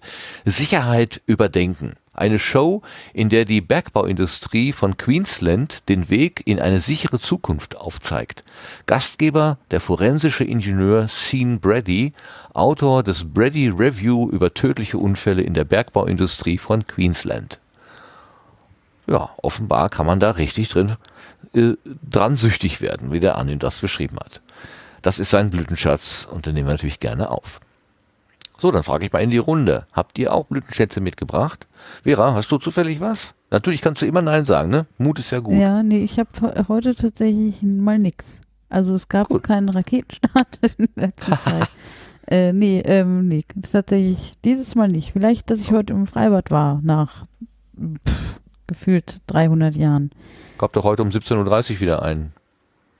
Mit Boosterlandung und die ist sogar ohne Unterbrechung durchgängig gefilmt worden. Okay, dann habe ich den äh, tatsächlich hm. verpasst, weil ich da noch im Freibad war. Ja, was viel übrigens besser. viel, viel, viel zu voll war, aber das ist eine andere Geschichte. Hast du, bist du mit Mund-Nasenschutz geschwommen? Gibt es die auch in wasserdicht? Leider nicht, nee. Äh, Hm. Sonst hätte ich es gemacht, tatsächlich, ja. Naja, es gibt ja wasserdichte Windeln. Ich weiß nicht, wie die funktionieren. Ich will es auch nicht ganz genau wissen. Äh, ich habe es heute gelernt, was, ne, was der Unterschied zwischen ähm, Schwimmwindeln und normalen Windeln ist. Ist okay, dann will ich es doch wissen. Was es ist, denn nämlich der gar nicht, dass die wasserdicht sind und der Urin nicht rausfließt. Es ist, dass die weniger saugfähig sind und das Schwimmbadwasser sich nicht in der Windel einsaugt und die Windel aufplustert. Das ist der Grund. Also äh, es Ach, ist nicht der weniger Ausfluss, sondern. Es ist äh, nicht der Ausfluss, der ähm, äh, Quatsch, ähm, der Einfluss wird gestoppt quasi. Also ne, dass da Wasser aus dem Schwimmbad sich im, in der Windel einsaugt. Ach so. Da ist nicht so viel Granulat drin. Die ist auch viel, viel dünner. Habe ich heute erst gelernt, tatsächlich. Ach, das heißt aber so als äh, Mitschwimmer ist man eigentlich weniger geschützt. Genau, also dass dem, da was da irgendwie so- jetzt ähm, die irgendwie besonders saugfähig oder oder ähm, wasserdicht ist, das ist sie nicht, sondern Mhm. einfach nur kein Granulat drin, was sich Mhm. dann vollsaugen kann, ja. Also eine Windel ohne, ohne, ja, ohne Windelfunktion. Ja, das ist, willkommen im Sendegarten, wo sie Dinge lernen, die sie eigentlich gar nicht wissen wollen. Ne? Ja, ja, wollte ich auch sagen, geht, geht unheimlich appetitlich zu Ende hier. Die Sendung. Ja, super. Oh Mann, das ist echt Nie ein- wieder fast ein. Stimmungskiller, ja. Nie wieder Planschbecken, super. Lars, hast du auch einen, äh, hast du auch einen Blütenschatz? Nicht? Oder auch nicht Blütenschatz? Doch, ich habe einen Blütenschatz. Äh, das klingt jetzt viel zu formal und ich habe keine Sorge.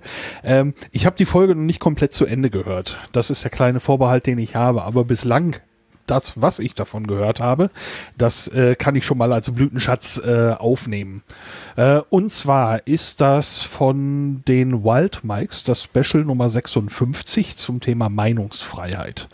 Ähm, Wild Mikes, das ist ja eine recht bunte Truppe um äh, Tommy Krabweis und da sind zum Beispiel äh, die Hoaxillas, also Alexander und Alexa Waschkau mit dabei und äh, Lydia Benecke ist immer wieder mal mit dabei und Holm Hümmler und Sophia Krabweis auch. Und das, das ist immer wieder recht bunt durchmischt und äh, bei dieser konkreten Folge, also ich höre mir die immer an, die sind mir teilweise so, mm, mm, die sind ein bisschen flapsig manchmal, ähm, aber ich höre sie mir an, weil sie eben auch unterhaltsam sind.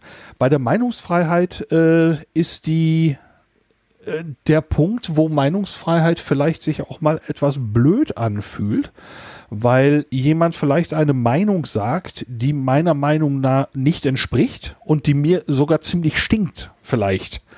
Ähm, aber der Mensch hat eben die Freiheit, das zu sagen, auch wenn es mir stinkt. Ähm, mhm. Aber dieses, äh, dieses Gefühl und wie man damit umgeht und welche Konsequenzen es eben auch haben kann, wenn jemand eine sehr unpopuläre Meinung sagt. Äh, es wird also dort zum Beispiel um diese Aktion alles dicht machen gesprochen. Man muss eben ah, dabei ja. sagen, dass äh, mhm. äh, ähm, diese aktuellen Ferngespräche, diese Wild Mike Specials ähm, auf dem Kanal von Hoaxilla nachträglich veröffentlicht werden in Form eines Pod als Podcast-Episoden. Ähm, und da war jetzt so ein bisschen, ein, ein, kleines bisschen Stau drin und die kommen im Moment sehr schnell in kurzem Zyklus hintereinander. Also das Gespräch war Anfang Mai und ist jetzt am 9. Juni ähm, als Podcast-Episode erschienen. Damals war das eben sehr aktuell. So, es ist aber immer noch aktuell. Also ich habe das wirklich mit, mit sehr großem Interesse ähm, und der ständigen Frage, ja, was denkst du denn selber darüber? Und mhm. teilweise, dass ich auch wirklich nicht zu einem Ergebnis komme. Ähm, mhm. Ähm, dass, äh, äh, wenn, wenn etwas dazu führt, dass ich so nachdenke und teilweise eben auch merke, es, es fällt mir schwer, mich zu entscheiden und an der Stelle zu sagen, so, ich sehe das jetzt aber so. Und ähm, das finde ich immer sehr, sehr angenehm, sehr cool, wenn, wenn, wenn ich auf so etwas stoße. Und deswegen ist allein schon der Teil, den ich bislang gehört habe, davon mein Blütenschatz. Lange Rede, kurzer Sinn. So. Ja, aber äh, kann ich total nachvollziehen.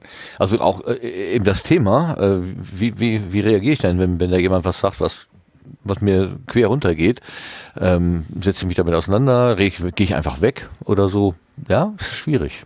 Finde ich äh, hm. sehr nachvollziehbar. Das taucht, ja, das taucht ja jetzt auch, in, äh, Martin, das taucht ja auch jetzt auch im Zusammenhang damit auf, was machst du, wenn du, früher hattest du den Nazi-Oper auf der Geburtstagsfeier, jetzt hast du unter Umständen den Querdenker und Impfgegner, ne? Wie gehst mhm. du mit denen um? Ja. Ja. Da gibt's übrigens einen Podcast, ja, fällt mir gerade ein. Es gibt einen Podcast äh, von, da kriege ich aber jetzt den Link nicht schnell zusammen. Äh, was hilft gegen Verschwörungserzählungen von Katharina Nockum? Die hat sich da mal drum gekümmert. Wie, ist, wie gehe ich mit dem Impfgegner in der Familie um? Ja, da. Habe ich noch nicht gehört, habe ich immer noch in der Liste hier, bin noch nicht zugekommen, weil ich dazu neige, immer neue äh, wichtiger zu finden. Ja, genau. Ich habe auch irgendwie, jetzt hat ja, ich mache hier das mit Pocket Cast und die haben irgendwann mal den Zähler für, äh, der, der, der Sachen, die man hören will, von, äh, von zweistellig auf dreistellig erhöht und seitdem stehen da nicht mehr 99, sondern jetzt inzwischen irgendwas mit 100 und sonst was. Also ich könnte ähm, ein paar ja, Tage ja. Podcast hören am Stück. Ja. Wäre immer noch nicht durch. Ja, das ist das Problem. Und die, also das ist ja, ja, es gibt halt so das Sachen, Schöne und das Schlimme gleichzeitig. Die rutschen immer nach vorne. Ne? Das ist ja, ganz klar. Wenn die kommen, die werden sofort angehört. Coronavirus-Update vom NDR ist auch immer äh, ja, wohlgelitten. Ich bin auch so ja, ein und das sind, das sind so Sachen, weißt du, das sind nicht geworden. tagesaktuelle Sachen und hm. äh, da kann man später mal hören. Da war doch von dem Banse, der hatte doch auch noch was.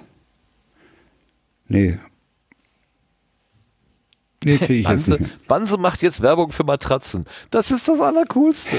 Ja. Ah, ich habe gedacht, äh, aber, es, aber nicht die. Ich meine, ich ne? könnte ja verstehen, wenn der Tobi Bayer im Einschlafen-Podcast Werbung für Matratzen macht. Aber ja, also ja, ja, also Lage der, Lage der Nation ist auch, da habe ich auch ein ambivalentes Verhältnis mittlerweile. Ich musste zu. sofort denken, das ist wie wenn Gottschalk jetzt irgendein so Möbelhaus eröffnet.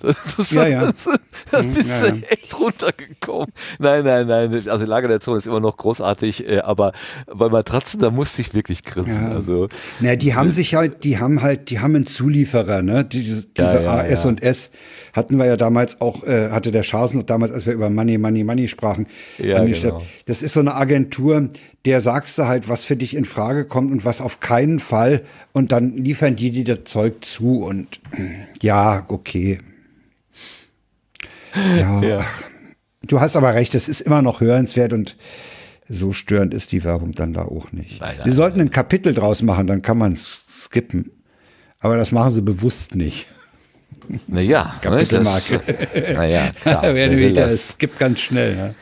Genau. Wenn wenn wenn es gibt, gibt es kein Geld. Dann Ja, äh, funktioniert das Modell ja nicht. Aber okay. Eben. Ich könnte mich ja freikaufen, aber ich kann mich jetzt auch nicht bei jedem Produkt freikaufen. Ähm, Nee. Das geht irgendwie auch ins Geld, das geht nicht. Also höre ich da die Werbung und äh, über amüsiere mich, wenn mir Ja, ja, ich meine, Bettenwerbung kann, kann ja gut. der seriöse Herr Banse irgendwie Vers Versicherungsdienstleistungen oder Matratzen verkauft. Das Ja, ja. Ich bin mal gespannt, wann er beim Gurkenhobel angekommen ist. Der ist gut, ja. Sehr schön. Okay, dann äh, haben wir die Frage noch an äh, äh, Sebastian. Hast du auch einen blöden Schatz? Äh, nee, ich muss heute passen. Magst du den vom Hörer Max Snyder vorlesen? Ja, das vielleicht? kann ich machen. Einen Moment. Da haben wir ihn. Äh, genau, es geht um die Folge äh, bei Malik FM, äh, Folge 23, Psychologisches Hacken mit Linus Neumann. Ja, in der Tat. Hm? Genau, die habe ich bei mir noch im Podcatcher, die wollte ich noch hören. Deswegen kann ich da jetzt zum Inhalt wenig sagen, aber beide Personen kenne ich, also zumindest äh, äh, Malik. Also ich ähm, kann dazu ja. sagen, das ist eine Folge, wo, wo Linus Neumann erstaunlich viel aus seinem Privatleben preisgibt. Ach, wir Ja. haben es nicht geschafft, aber Malik, der schafft es. Super. Ja, also ich finde, Linus ist an der, in dieser Sendung erstaunlich offen. Und die Schilderung seines USA-Aufenthalts ist einfach köstlich.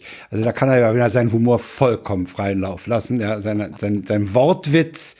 Ah, ja. Nee, unbedingt, äh, Sebastian, unbedingt anhören. Ganz dringender Hörtipp. Ja, fast ein Befehl. Nee, ist wirklich super zu hören. Beide. Ich meine, das, ja, Malik ist auch äh, sehr, ein, sehr toll äh, als Frager und, und ja, klasse. Das Hm? kann ich mir auch gut vorstellen. Das macht mich sehr neugierig. Ja, das kommt auf jeden Fall auf meine Wunschliste. Auf jeden Fall. Hm, Macht Spaß. Sehr schön, sehr schön, sehr schön. So, haben wir jetzt alle äh, was gesagt oder habe ich jemanden vergessen? Ich habe die Übersicht verloren. Weil ich habe nämlich sogar einen Einspieler mitgebracht. Mein Blütenschatz, der, der ist mir irgendwie die Tage, ich weiß gar nicht warum, ich habe ähm, aus ich habe ewig schon nicht mehr Astrogeo Podcast gehört. Ich meine, so wahnsinnig viele Folgen gibt's davon auch nicht, aber der kam mir irgendwie so unter. Das ist auch einer, den habe ich im Abo, den höre ich aber auch nicht so ganz regelmäßig. Aber da ging es um Sonnensegel. Also ähm, um eine Möglichkeit, sich im Weltraum zu bewegen, ohne Treibstoff zu verbrauchen, indem man einfach große ja, Flächen, äh, Segel sozusagen aufspannt und sich vom, jetzt muss ich es richtig sagen, vom Sonnenlicht treiben lässt. Das ist zwar eine sehr langsame Bewegung, aber in der, also dann eben, man kommt ziemlich weiter mit. Kostet ja auch kein, kein Sprit. Es sind keine Solarpaneele, die Strom erzeugen. Manchmal sagt man, sagt man ja auch zu den Dingern Sonnensegel, sondern es sind wirklich die, ähm, ähm, die, die also äh, kann man sich am besten so ein bisschen vorstellen wie diese Rettungsdecken, die man da so hat äh, im, im, im Erste-Hilfe-Kasten, diese Ah, ja. Goldfolien, Ja. diese Goldfoliendecken. Das ist, glaube ich, dasselbe Material, hat er, glaube ich, erwähnt. Aber das ist noch zu dick. Da muss man, um wirklich nennenswert vorwärts zu kommen, braucht man noch dünneres Material, was man noch weiter aus ähm, klappen kann. Und da hat er irgendwie so 20-minütige Übersicht, diese Übersichtssendung gemacht. Fand ich total schön. Und äh, im- Hintergrund war immer so ein bisschen Musik zu hören und ich habe das überhaupt gar nicht so richtig begriffen. Auch am Anfang Möwengeschrei und so. Äh, Weltraum-Podcast. Und, und dann kam dann erst so ganz nach und nach dahinter, dass es ja um Segeln geht. Und da hat er quasi das maritime Bild sozusagen benutzt. Und dann war diese Musik, war ein Akkordeon, was da diesen Shanty gespielt hat, der da vor einiger Zeit durch die, äh, durch, durch alle möglichen Sozialkanäle gegangen ist.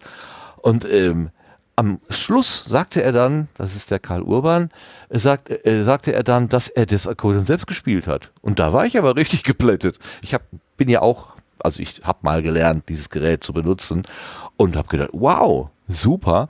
Und das habe ich sogar mitgebracht hier zum äh, Reinhören. Das ist die Folge äh, Astrogeo 39 Sonnensegel. Aber ich habe einfach mal den Schluss mitgebracht, wo er da spielt. Vielleicht können wir uns den mal eben anhören.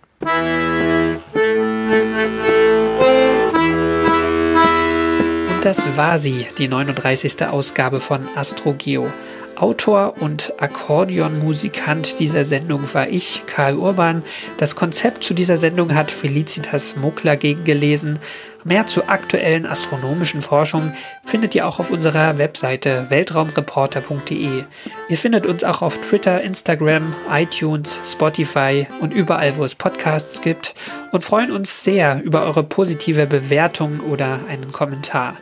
Wenn ihr die Arbeit der Weltraumreporter unterstützen wollt, freuen wir uns darüber, wenn ihr ein Abo bei uns abschließt, das übrigens monatlich kündbar ist. Ihr helft uns Weltraumreportern damit, in unserem kosmischen Vorgarten und weit darüber hinaus zu recherchieren für euch. Denn Weltraum braucht Journalismus. Danke und bis bald.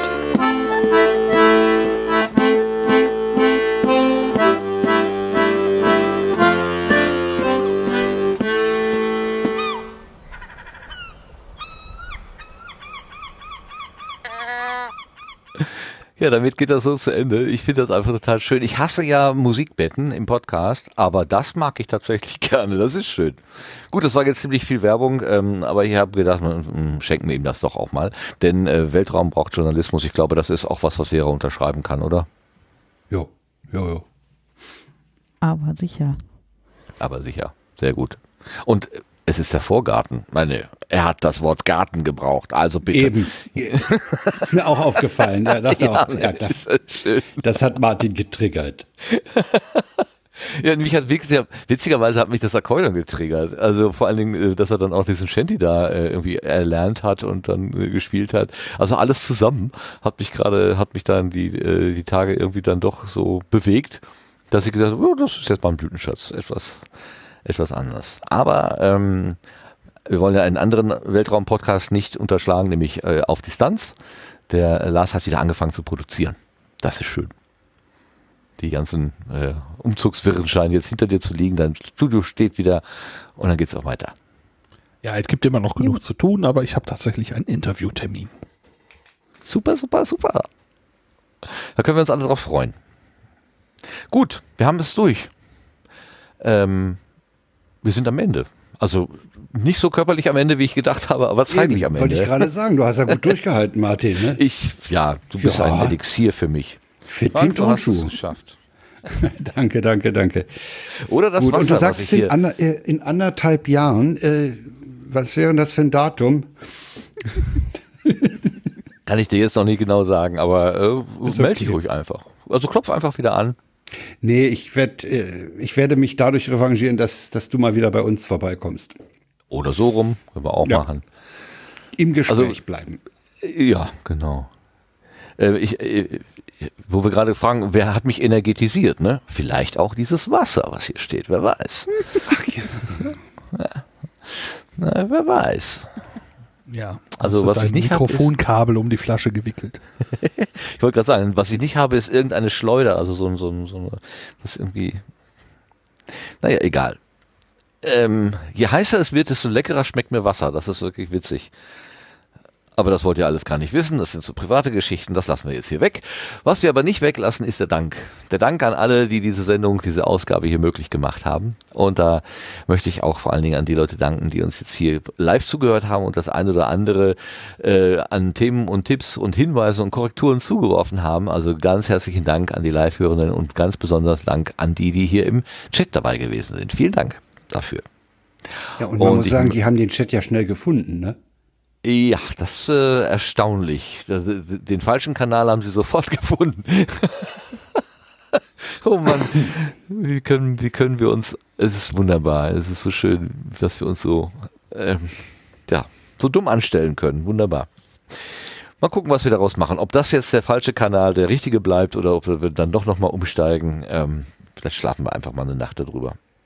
Ist das wahrscheinlich nicht unmöglich.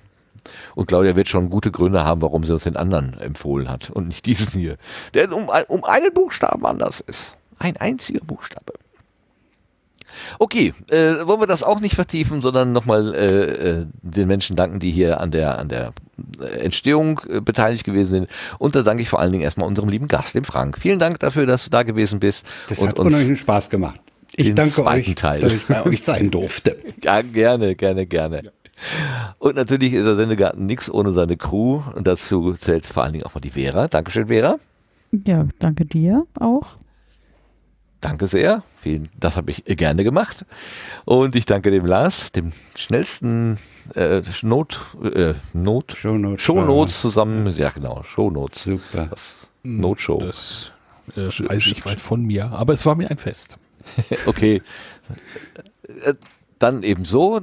Und natürlich auch den großen Dank an den Sebastian, der hier natürlich, ähm, na, wie gesagt, die Struktur geschaffen hat. Wir benutzen Studio Link. Wir dürfen auf seiner, auf seiner Instanz sozusagen das Ganze hier machen. Und das ist ganz groß. Und dafür vielen Dank. Und auch für deine Beiträge. Vielen Dank. Ja, immer wieder gerne. Und wir danken natürlich auch allen, die das äh, Podcast-Angebot hier nicht live konsumieren, sondern so nutzen, wie äh, es eigentlich gedacht ist, nämlich als zeitsouveränes Medium hören, wann immer es passt, wo immer es passt, zeitsouverän, themensouverän, überhaupt souverän. Also das ist ja nur ein Angebot, macht damit, was ihr wollt. Hört es auf 20-facher Geschwindigkeit, wenn es euch gefällt oder wenn ihr das könnt. Ich würde das nicht empfehlen, aber macht doch mit, was ihr möchtet. Es ist auf jeden Fall schön, dass ihr uns eure Ohren sch äh, schenkt und eure Aufmerksamkeit. Und damit ähm, sagen wir einfach dickes Dankeschön an äh, die Menschen, die das so benutzen, an ihr, an euch, den, dass ihr den Sendegarten die Treue haltet. Und damit gehen wir in die Nacht und sagen Tschüss zusammen, bis zum nächsten Mal. Bye bye. Tschüss. Tschüss. Tschüss.